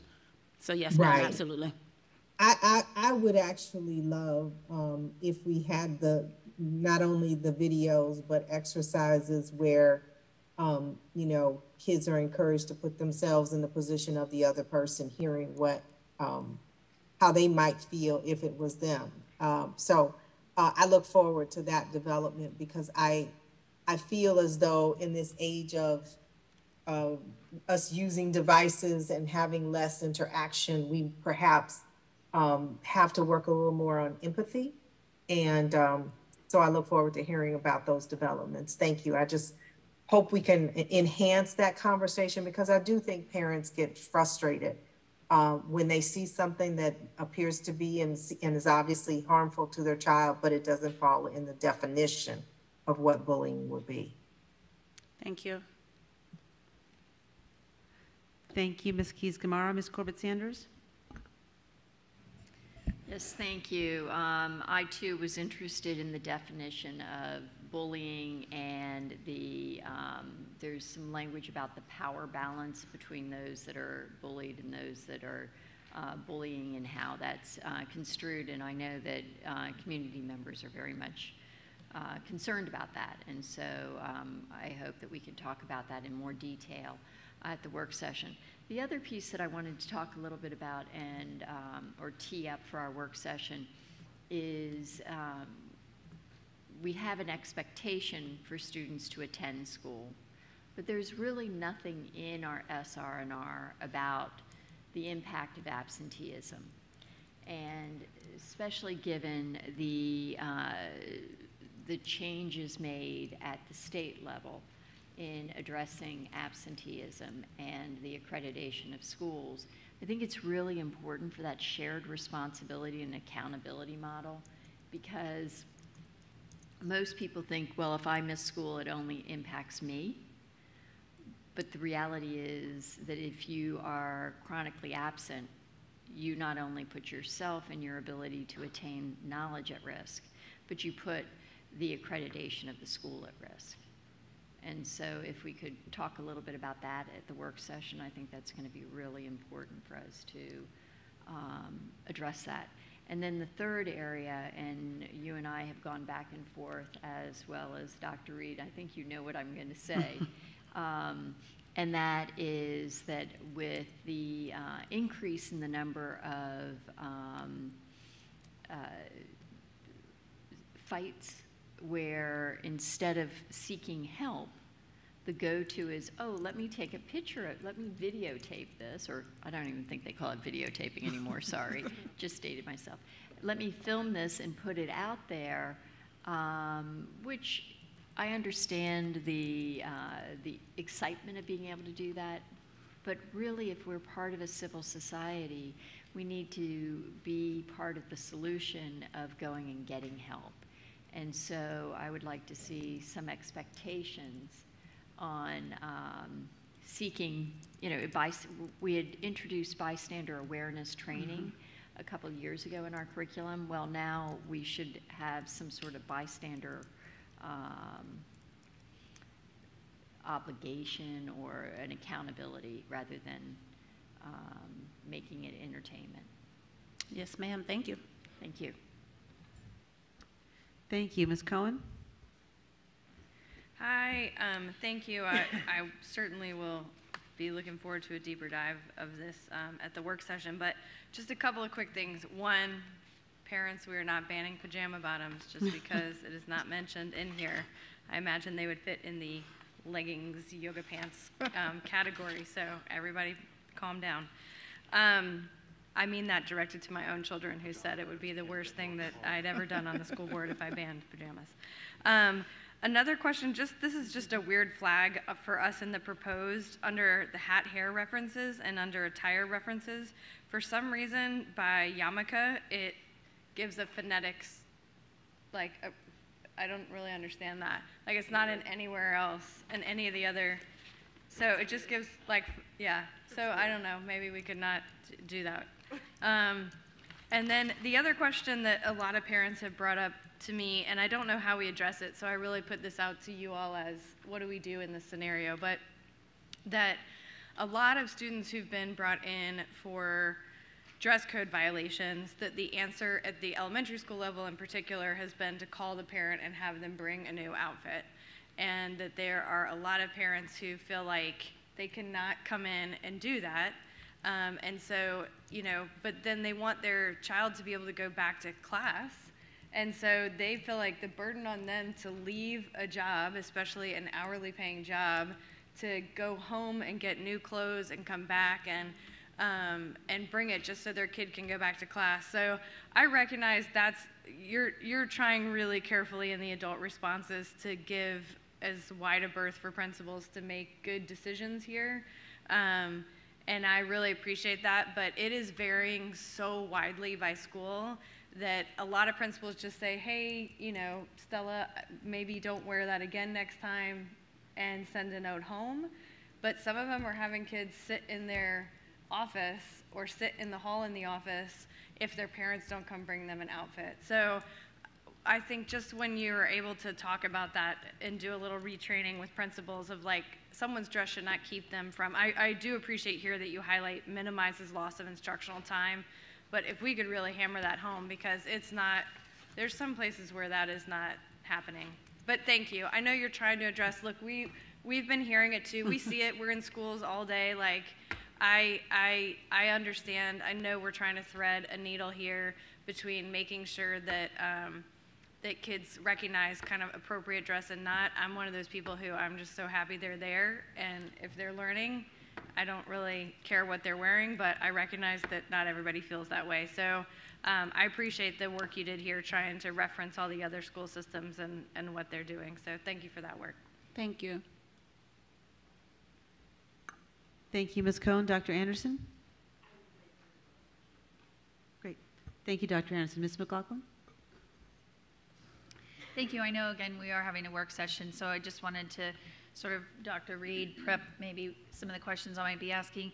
Um, first of all, um, to Mr. Foster, I know in the past you and I talked about needing to have uh, more breadth of definition for sexual assault versus unwanted touching so that, again, if it's students who inadvertently think that they're, you know, teasing another student or an elementary school student is, you know, not even mindful that um, their behavior might be imposing on the, you know, space of another student that um, could you refresh my memory? Do we did we finally delineate that unwanted touching versus sexual assault, or is that something we might need to uh, refine? I would have to uh, touch base with uh, Dr. Boyd um, yeah. and the rest of the team to uh, confirm whether those changes have been made. Great, I appreciate that. I just, it's something I know, and I was sidebarring with a school board member who actually had a case with a first grader, and I mean, there was no intent there at all. Um, but with 150 elementary school principals alone, we could have 150 different responses to it. And so, you know, we want to be careful with that. Um, as everybody knows, huge champion of tiered approach to discipline um, is best. The other thing is, Dr. Reid, um, you know, I really appreciate whoever created this 12-page yes. crosswalk. But um, what I would hope by the time we go into the work session is the staff analysis. Like, so the crosswalk got done, but the board's work is for oversight. The board's work is not operations. So I don't have the bandwidth uh, and the ability to do this crosswalk, and um, goodness knows that I don't expect Dr. Boyd either because she is spread as, as thin as they get with all her amazing responsibilities and work that she does. But I do hope that we will have somebody do the crosswalk and tell us what is it what it what is it actually telling us? So this is data but now i need the analytics of what is it telling us. And i will just say the the reason is it's important that we help our families know the hard work we're doing. This is 12 pages of saying we're benchmarking ourselves as a division. And then I will say at a macro level that we can talk about more that um, we do want to provide respect and dignity to each and every child. But school is an opportunity for students to learn lifelong skills. And one lifelong skill is you're going to leave high school And whether you go to the workplace, whether you go on to college, or you go into the military, there will be appropriate dress expected, particularly in the workplace and in college. And so if we're not helping students understand that coming to school is different from going to the gym or going to the beach, then, you know, I don't think we're helping students and families with that. And our, our principals are, I, my conversations with principals, that they're asking for help with that too. Thank you. Thank you. Thank you, Ms. McLaughlin. Mr. Frisch? Thank you. I, I seem to remember that we had two by twos for the SR&R in the past. We're not doing that anymore. Um, we can certainly engage in those. We're trying to fit everything Streamline in. it a little bit. Just a bit, but we're happy to engage in the two by twos with the board Okay. members. Um, well, um, I'll keep it simple. Um, I very much appreciate the more expansive uh, um, definition of discriminatory harassment used throughout.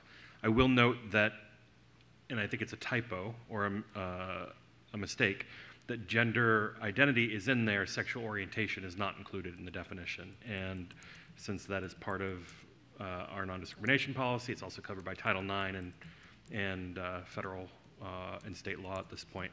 Um, it should be included. And, and uh, if we need to do an amendment or something, we'll, we'll make sure we take care of that. Um, and then as far as other things go, I'm guessing the bulk of our work session is going to be about this.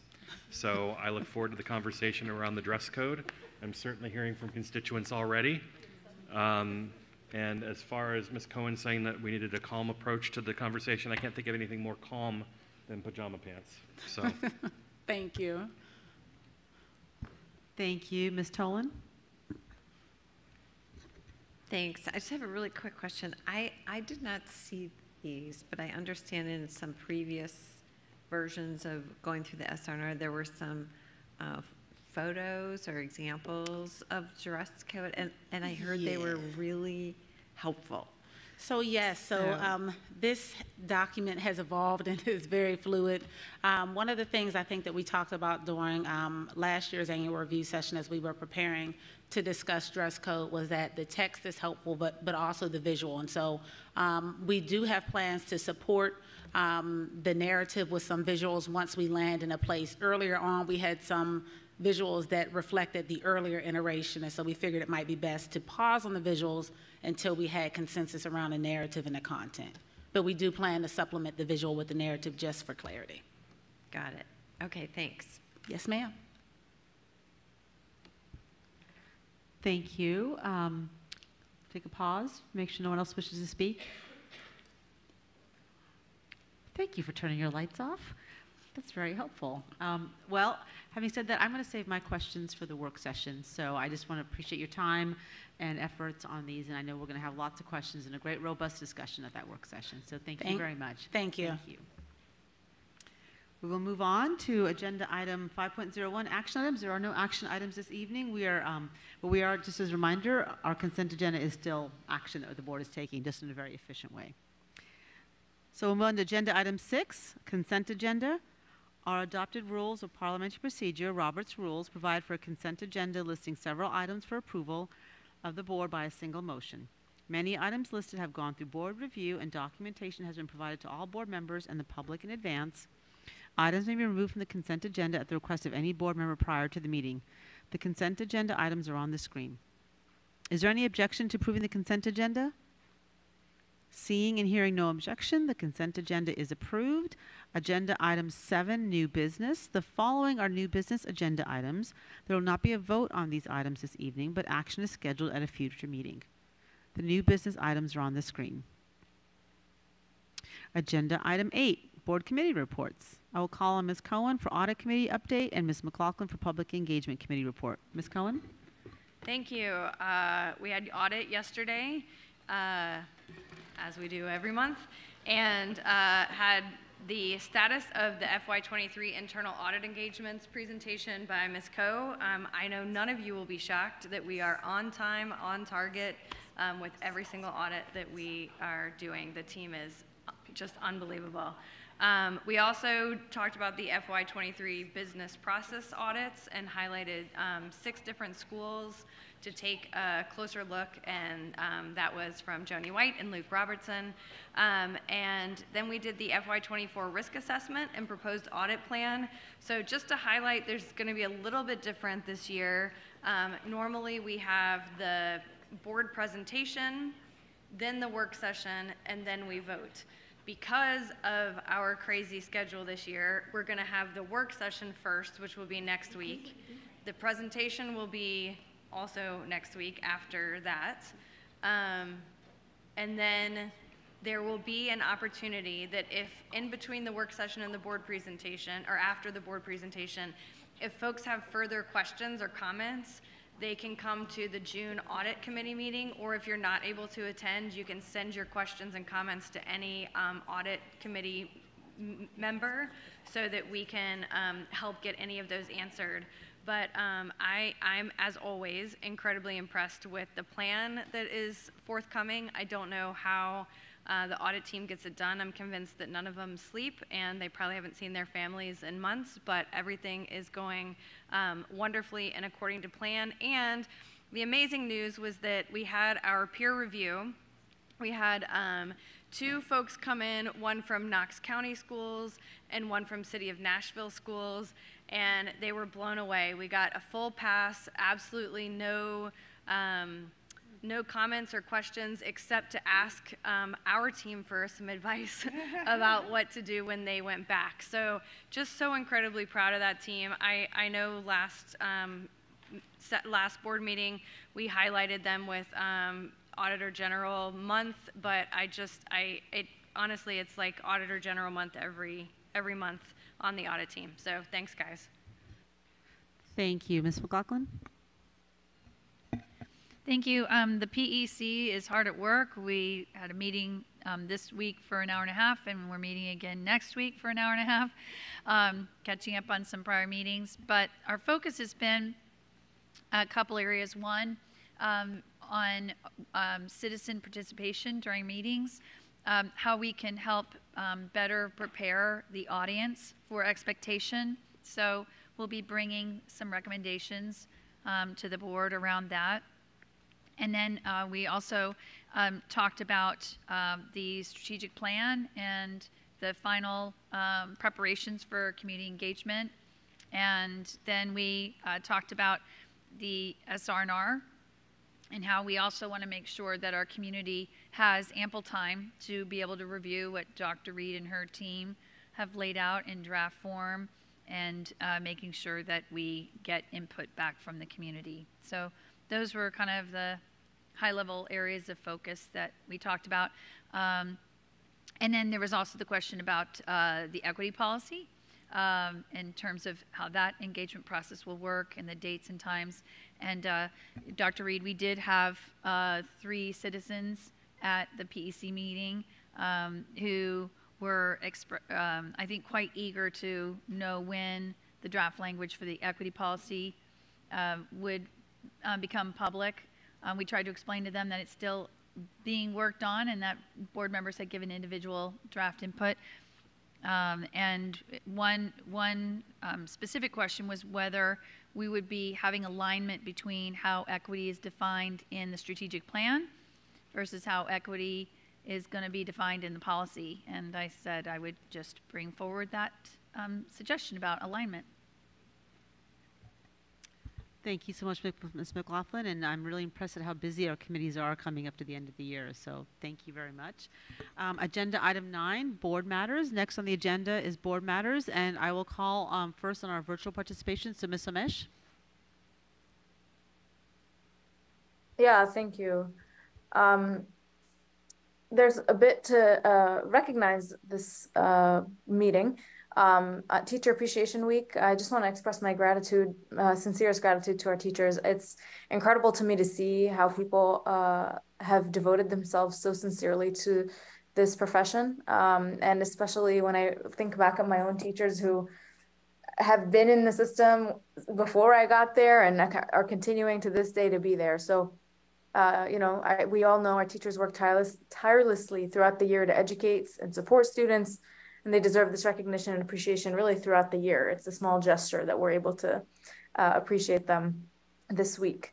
Uh, and on that note, similarly giving and sincere individuals, uh, Mother's Day is in two days. Uh, obviously, um, I was really blessed that my mom attended today. I didn't actually know she was going to be there, um, but uh, uh, you know, we're all, um, I think, united in our love for our, um, uh, well, appreciation for all the sacrifices that our caretakers have made, and so uh, in, in having empathy for those who perhaps have lost their mothers, who have not had the traditional sense of a mother. Um, I hope that we can celebrate that day and be there for one another uh, and real and and see that we experience that day in so many different ways. Um, the Baha'i faith will be celebrating uh, as also in just a week or so. Uh, one of their founding days. So I wish the community a blessed recognition uh, and blessed time together. Uh, on the note of teacher appreciation, we have some incredible teachers in this system. So a bit of a feel good. Um, our eighth grade math and special ed teacher, uh, Herndon Middle School, Gabriel Segal, I just want to uplift this story. He chose to go out of his way, despite the workload, which is we already know is insane for our teachers, to raise more than $40,000 to cancel student meal debt at his school. Uh, we, you know, are aware that student lunch debt has uh, is in the millions. Uh, this is something, Dr. Reid, you know, I hope that we can think about uh, because, you know, children can't obviously show up for learning if they're not fed. Uh, and this is an academic issue, but perhaps through county partnerships and additional creative measure, measures. And I know you have no shortage for innovation of finding the resources we need to make it happen. But um, this is a, an, an issue um, and it's, you know, middle school lunches cost 350 milk is uh, 410 that that's expensive for a lot of families on a daily basis. So um, and and nearly a third of our kids receive that help. So i just wanted to uplift the story and celebration of mr segal um, and and hopefully uh, we can make that commitment uh, to go out of our own ways and, and finding creative solutions to this uh, problem um, in other good news, I also want to congratulate the TJ team uh, who just won the prestigious MathWorks modeling competition. Not an easy thing. I do remember some of that MathWorks, uh, MathWorks teams and, and, and competitions and whatnot. So um, really uh, excited to see them make Ms. that Omeish? accomplishment. Is that my time? Yes, I just want to remind you. Okay, so uh, yeah, no, I appreciate that. Just finally, congratulations to Dr. Reid on completing the strategic plan conversations. Not it has not been easy, but I'm grateful to see where we're at and look forward to the next steps. Have a Thank good night, everybody. Thank you. Ms. Keys-Gamarra? Sure. Um, I do just in general want to, I didn't comment earlier, but I do celebrate the diversity of our community to um, um, look at the contributions of our Asian Americans, our Jewish Americans, our Muslim Americans. Um, this particular month is truly a joy, and I um, am grateful that right here in Fairfax County, we can really enjoy the cultures of the world. And so I am grateful and I did want to uh, just thank each of these communities for uh, making our lives better. I also want to say thank you to our teachers. Um, you know, I we all have our favorite teacher that we can mention It's more than one. We truly make a difference. Our, our teachers make a real difference for our students. We couldn't do what we do.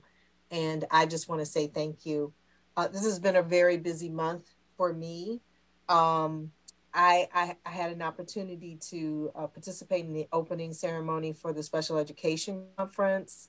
Um, also attended the FEA Retired Council annual luncheon. Um, met some of our folks that have been supporting us for years. Um, I attended the Planning Commission luncheon in celebration of some retirees and was able to meet some of my colleagues and those that I've worked with as a um, Planning Commission liaison.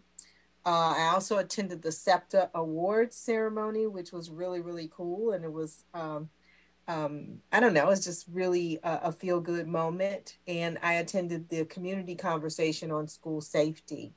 Um, perhaps uh, one of the um, more fun moments uh, was when I had an opportunity to go to the Madison, Madison High School play, Mamma Mia. Um, that's the first time I've been able to watch it all the way through and uh, re- truly, truly enjoyed it. And also uh, Bright Star at South Lakes Theater. Um, our we have some really talented students, and uh, I enjoyed every moment. Um, my husband is um, enjoying uh, having our own version of Broadway right here in Fairfax. So, thank you, everyone. I hope everybody has a wonderful Mother's Day. I am looking forward to not cooking, and uh, I look forward to joining you guys at the next meeting. Take care. Thank you. Thank you, Ms. Keys Gamarra. Ms. Meren? Yes, well, I'm glad that it's been a really full Teacher Appreciation Week. I hope the teachers feel appreciated, not just this week, but every week. And I've seen lovely gestures of kindness and gra- gratitude. So I also have to thank our parent teacher associations and parent teacher organizations, PTSAs, PTSOs, um, for what they've done. Uh, really, they've uh, just gone all out for our teachers who deserve nothing less than the best.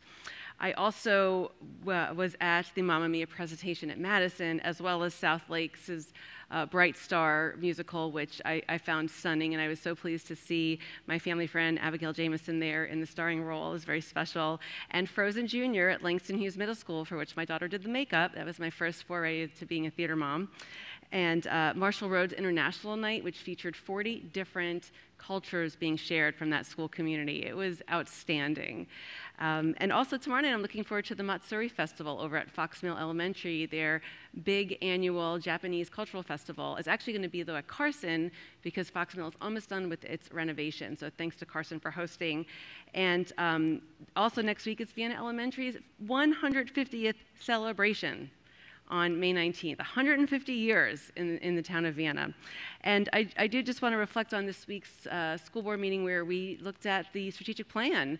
Uh, well, it's almost at completion, and I am very hopeful and expectant that it's going to really pave the way for some uh, needed changes and innovation, and I'm very excited for the future. As I know our parents, I was talking with one today, and I happen to have my booklet that we got at the retreat, and I showed her the, com- the content, and she said, Oh, I remember commenting on this. This was something that I wanted in there. So I think that all that community engagement really has made a difference, and I'm very eager to vote that in. Thank you. Thank you. Ms. Tholen? Yes. Um, first of all, congratulations to our new clerk, Ms. Setlow. Looking forward to working with you. Welcome. Um, please join us at Herndon Middle School on Monday evening at 6.30. Um, I'm hosting with Supervisor John Foust um, another meeting on um, a community meeting on fentanyl. As Dr. Reid said, we cannot have too many meetings on this topic. Um, so uh, please join us. Bring your middle school or high school students, your neighbors, and friends. Um, I, I, do have to mention we didn't do board matters at our last meeting, but I was pretty excited that we passed the McLean, the McLean High School bathroom upgrades at the 427 meeting, and those will be happening this summer. Um, I attended the FCPS retirement celebration. Just a huge, huge thank you to all of our retirees that have shared so much of themselves uh, and dedicating their life to working with our students. Happy Teacher Appreciation Week. Uh, to all of our teachers and instructional staff. Uh, I was super excited to hear all the different ways that our Dranesville schools are celebrating you. Um, I got a sneak peek of that at our last uh, Dranesville PTSA PTO um, leaders meeting. I want to thank um, my colleague, Ms. Corbett Sanders, for working with the VSBA to set up the regional meeting. I was able to attend this um, past Monday evening to discuss teacher um, hiring and retention. We had some very informative discussions. And speaking of teachers, we have um, some amazing teachers doing amazing things. Um, our Haycock Elementary School teacher, Ms. Susanna Sullivan, um, was the top American finisher at the 2023 London Marathon with a new personal best time.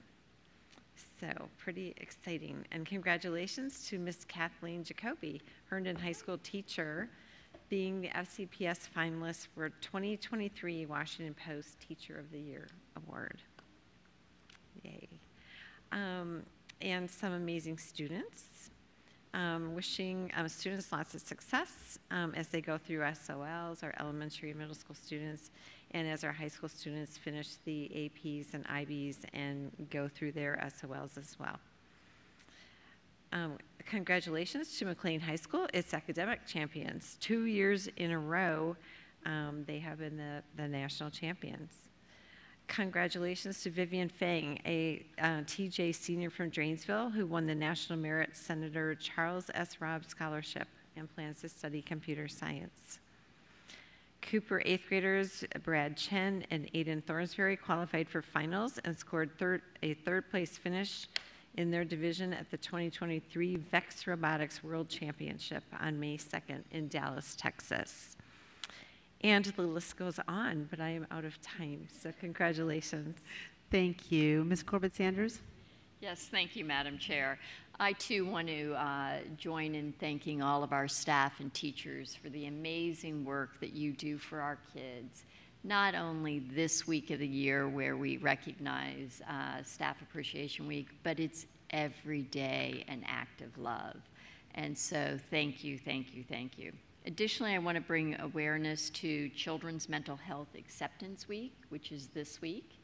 Um, we often talk about uh, the mental health and behavioral health challenges that uh, people are facing in a post-COVID world, as well as in the as a result of social media.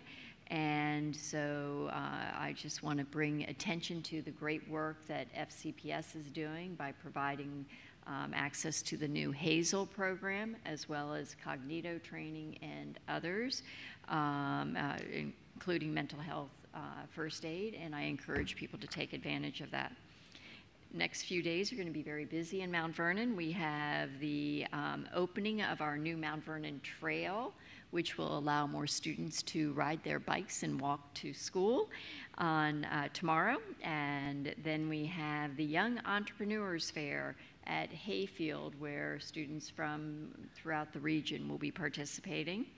And the Eagle Festival at Mason Neck Park, which is always a lot of fun. Um, and finally, on Saturday, we will also be um, formally renaming the softball field at Walt Whitman to the Dave Evans Field, Dave Evans Memorial Field. Thank you. Thank you. Ms. McLaughlin? Great. Um, I do want to wish all of our teachers uh, appreciation, happy Appreciation Week, and uh, thank you for all you do for our students. And I'm sorry we weren't speaking about it individually earlier this evening, but I'm glad we can uh, acknowledge you in our in our board matters. Um, I do want to. Um, just really spotlight from what uh, Ms. Corbett Sanders said about mental health um, awareness um, for our teens. I was really fortunate this um, past week, Dr. Reid, to visit Annandale High School uh, student leadership class. And one of the students, who's a senior, had created a podcast. The podcast is called The Brief Dive. You can find it on Spotify, iHeartRadio, and Apple Podcast. This young man's um, podcast uh, got spotlighted in the student newspaper. Again, it's over two years in the making and really does focus on um, helping students better understand mental health, to know they're not alone.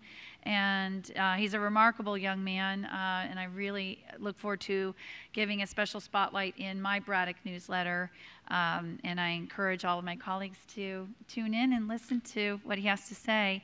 Um, in terms of the school lunch debt that was raised by Ms. Omeish, um, I did raise this issue with Dr. Reid and um, with our COO uh, Marty Smith from that news article. And so I want to share with Ms. Omeish and um, with our community that certainly without question FCPS um, wants to uh, provide all the supports and nutritious meals to our families that um, are, are struggling and qualify for free and reduced meals, um, and that the student lunch debt, as was explained to me, is for our non um, free and reduced meal families.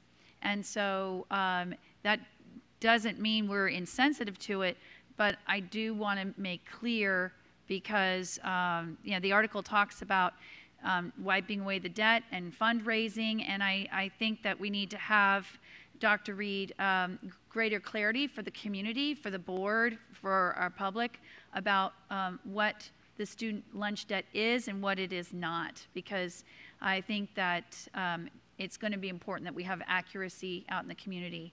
We certainly don't want um, students to um, ever be concerned, and families as well. But we also want to make sure that uh, if this is um, more a matter of, you know, families needing to just better understand if their students' uh, account just is is missing the funds, but it's the the families have the ability to pay. That's a, a different story, and and I think we need to have clarity all the way around on that.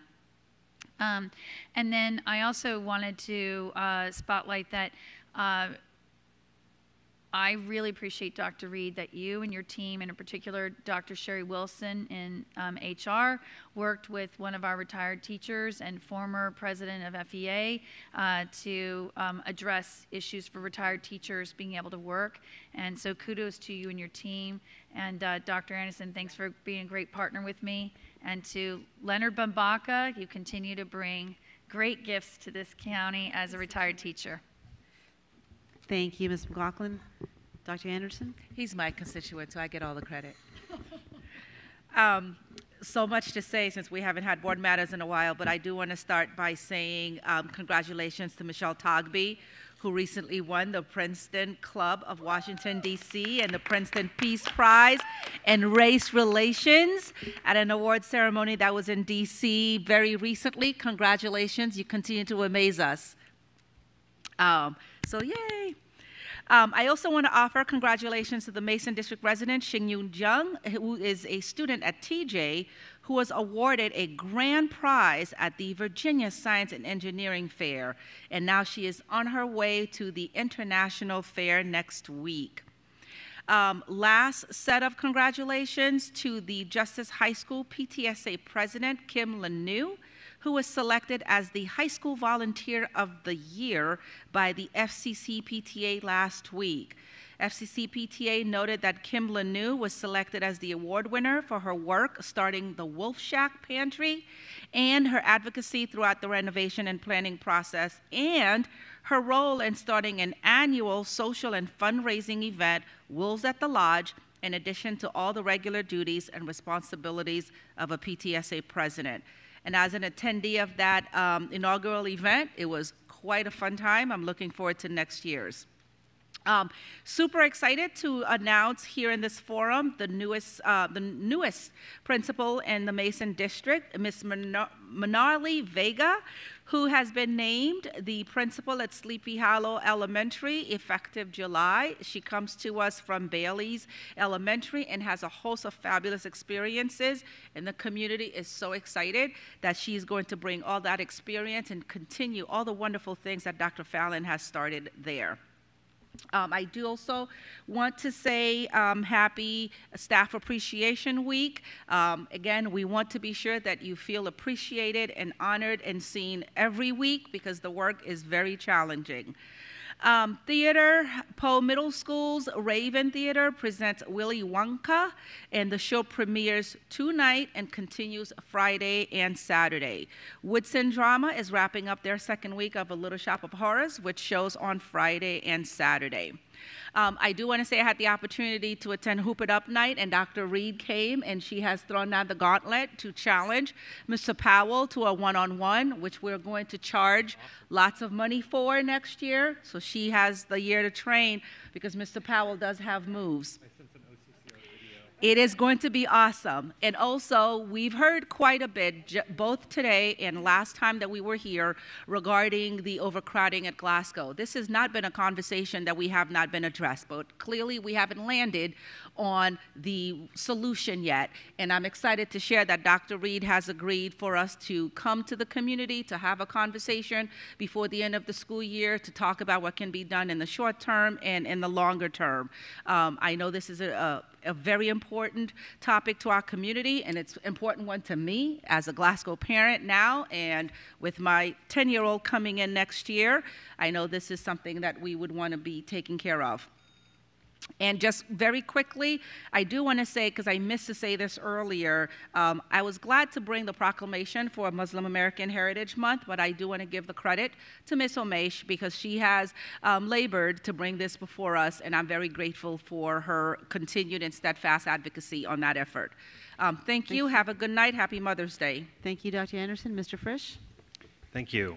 I want to start by thanking the incomparable Jackie Marmol, who has uh, dutifully served the families of Providence District for nearly three years now as my staff aide. Jack- Jackie is no stranger to Providence District.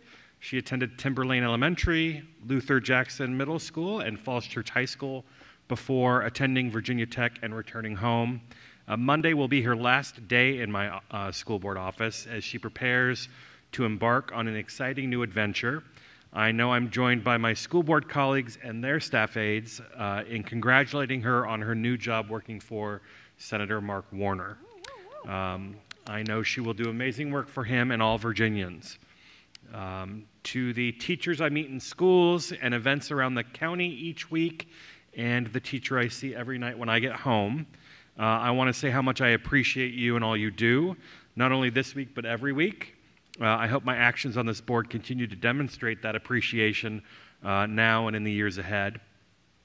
Earlier this evening at a forum discussion, the school board approved a proposal directing the superintendent to conduct a comprehensive review of all regulations, policies, practices, and curriculum to ensure that school division is adequately addressing the threat of illicit drug use and fentanyl and meeting the academic, social, and emotional needs of students in recovery from substance abuse disorder.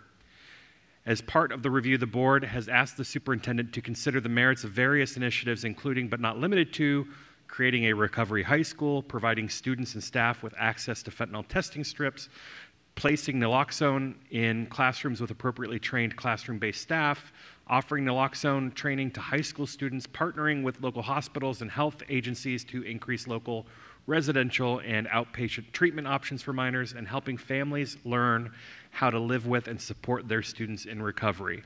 Our schools must provide students and families with the knowledge and resources they need to make healthy decisions.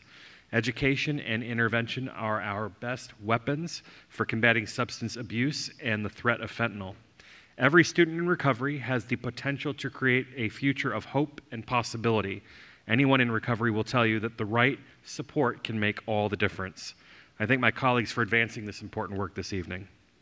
Uh, and since our last meeting, I've been to lots of schools. We didn't do uh, board matters at the previous meeting, but I've been to Mosaic Elementary for reading to some first graders. It was a lot of fun. I've planted trees all over Providence District, including with the um, Cherry Blossom Festival Association. We planted uh, more than a dozen cherry blossom trees in Tyson's last weekend. Um, and this weekend, I am looking forward to attending the Oakton High School production of Mean Girls. Um, this is a musical that I know nothing about. I've seen the movie, I know the movie by heart. I've not seen the musical, I don't know the music, and so I'm very much looking forward to it and our talented kiddos at Oakton High School uh, who always put on a good show. So I hope everybody has, all of the mothers on this dais have a great Mother's Day, and all of the mothers watching at home have a great Mother's Day as well. And my mother, happy Mother's Day. And my sisters, happy Mother's Day. The whole world. Every mother, happy Yeah. Mother's Day. Um, Ms. Cohen? Thank you. Uh, I just wanted to say thank you to uh, Ms. Evans, Ms. Dostal, Mrs. Pavakostas, Ms. Carter, Mr. Heil, Mr. Slater, and Ms. Waller. Uh, you all had such a big impact in the human being I turned out to be, and I am forever grateful um, that you were my teachers. So thank you, and happy Teacher and Staff Appreciation Week. Ms. Pekarsky? I also want to say happy Teacher Staff Appreciation Week, especially to my kids, um, teachers. Um, thank you. It is a difficult job, made much more difficult these days. Um, and happy Mother's Day to all. Thank you. Ms. Derenak Kaufax? Thank you. I will add in the accolades of thanking all of our teachers, not just today, but each and every day. We are thankful for the hard work that you do to make our, great, our schools a great place for our children to learn. Um, I've done some visiting lately. I have visited the uh, new principal at Key Middle School, Mr. Drew Campbell.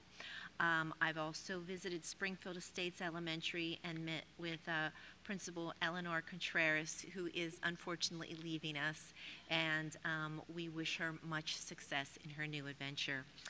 Um, I have visited the relatively new principal at Rose Hill Elementary, uh, Miss Rachel Edwards and her team, and was excited to talk to her about what's going on there. Um, I had, I did, as I shared with you, I performed in the 25th annual Putnam County Spelling Bee. I spelled two very difficult words, quorum and cat. Um, so, but um, it was great fun, everyone. We sat on there the first entire first act. Um, I want to thank um, Mr. Jeffrey Walker, theater arts and film studies teacher at Edison, Miss Christy Quigley Ga- Gallagher, uh, Edison's theater booster president, for asking me to be part of this wonderful. And a shout out to Miss Kendria Boyd, Edison's assistant principal, and Benjamin Hemmons, an Edison math teacher, um, and who were the other very talented guest spellers. And really, just thank you to the uh, student cast and crew who just helped us every step of the way and made us shine. We had so much fun. Thank you so much. Um, yesterday, I did another fun thing. I was able to install some native plants for a pollinator garden at Bush Hill Elementary. A special thank you to Danielle Wynn um, with Fairfax County Watershed Education and Outreach Office and Principal Duffy to um, get this organized and to help transform part of the Bush Hill landscape. Uh, they told us how this will help, um, you know, with various levels of Portrait of a Graduate. There'll be a monarch place for the monarch butterflies to gather and places to um, talk about how the, the um, in fourth grade history about how the Native Americans and, and they had teas and um, from the, the native plants. So I don't remember the names of all the plants, but it is very exciting and they were very happy to have me there. Um, the best thing I heard that day was, this is so fulfilling from a fourth grader so it was it was it was wonderful. It was wonderful. Um, and tomorrow I will be attending the PTA meeting at Twain Tiger Night at Twain Middle School. So I look forward to doing that. It's been a little while since I've been back there. And happy Mother's Day to everyone. Thank you. Thank you, and I will take my turn. Um, I will start also with thanking our teachers and staff, and I just want to give a shout out to Mr. Rib, who was both my AP English and my theater teacher, for teaching me how to critically think and analyze. I will never look at a Grecian urn without thinking about you, and who's also my theater teacher, who taught, which in that class taught me every other skill that I ever used in my life to be successful. So, um, thank you to all the great teachers out there. Um, and I, I didn't want to let this moment go by without recognizing and, speaking about AAPI, Asian American Pacific Islander Month, as the currently the only Asian American on the board, um, and the first Indian American on this board, and I think the first Asian American woman on this board. I just wanted to recognize the importance of representation and the importance of um, having diverse voices at the table. When I was growing up, I didn't see anyone who came from my background or looked like me in politics, on TV, in movies. I, I didn't read about them in books unless it was a book about India.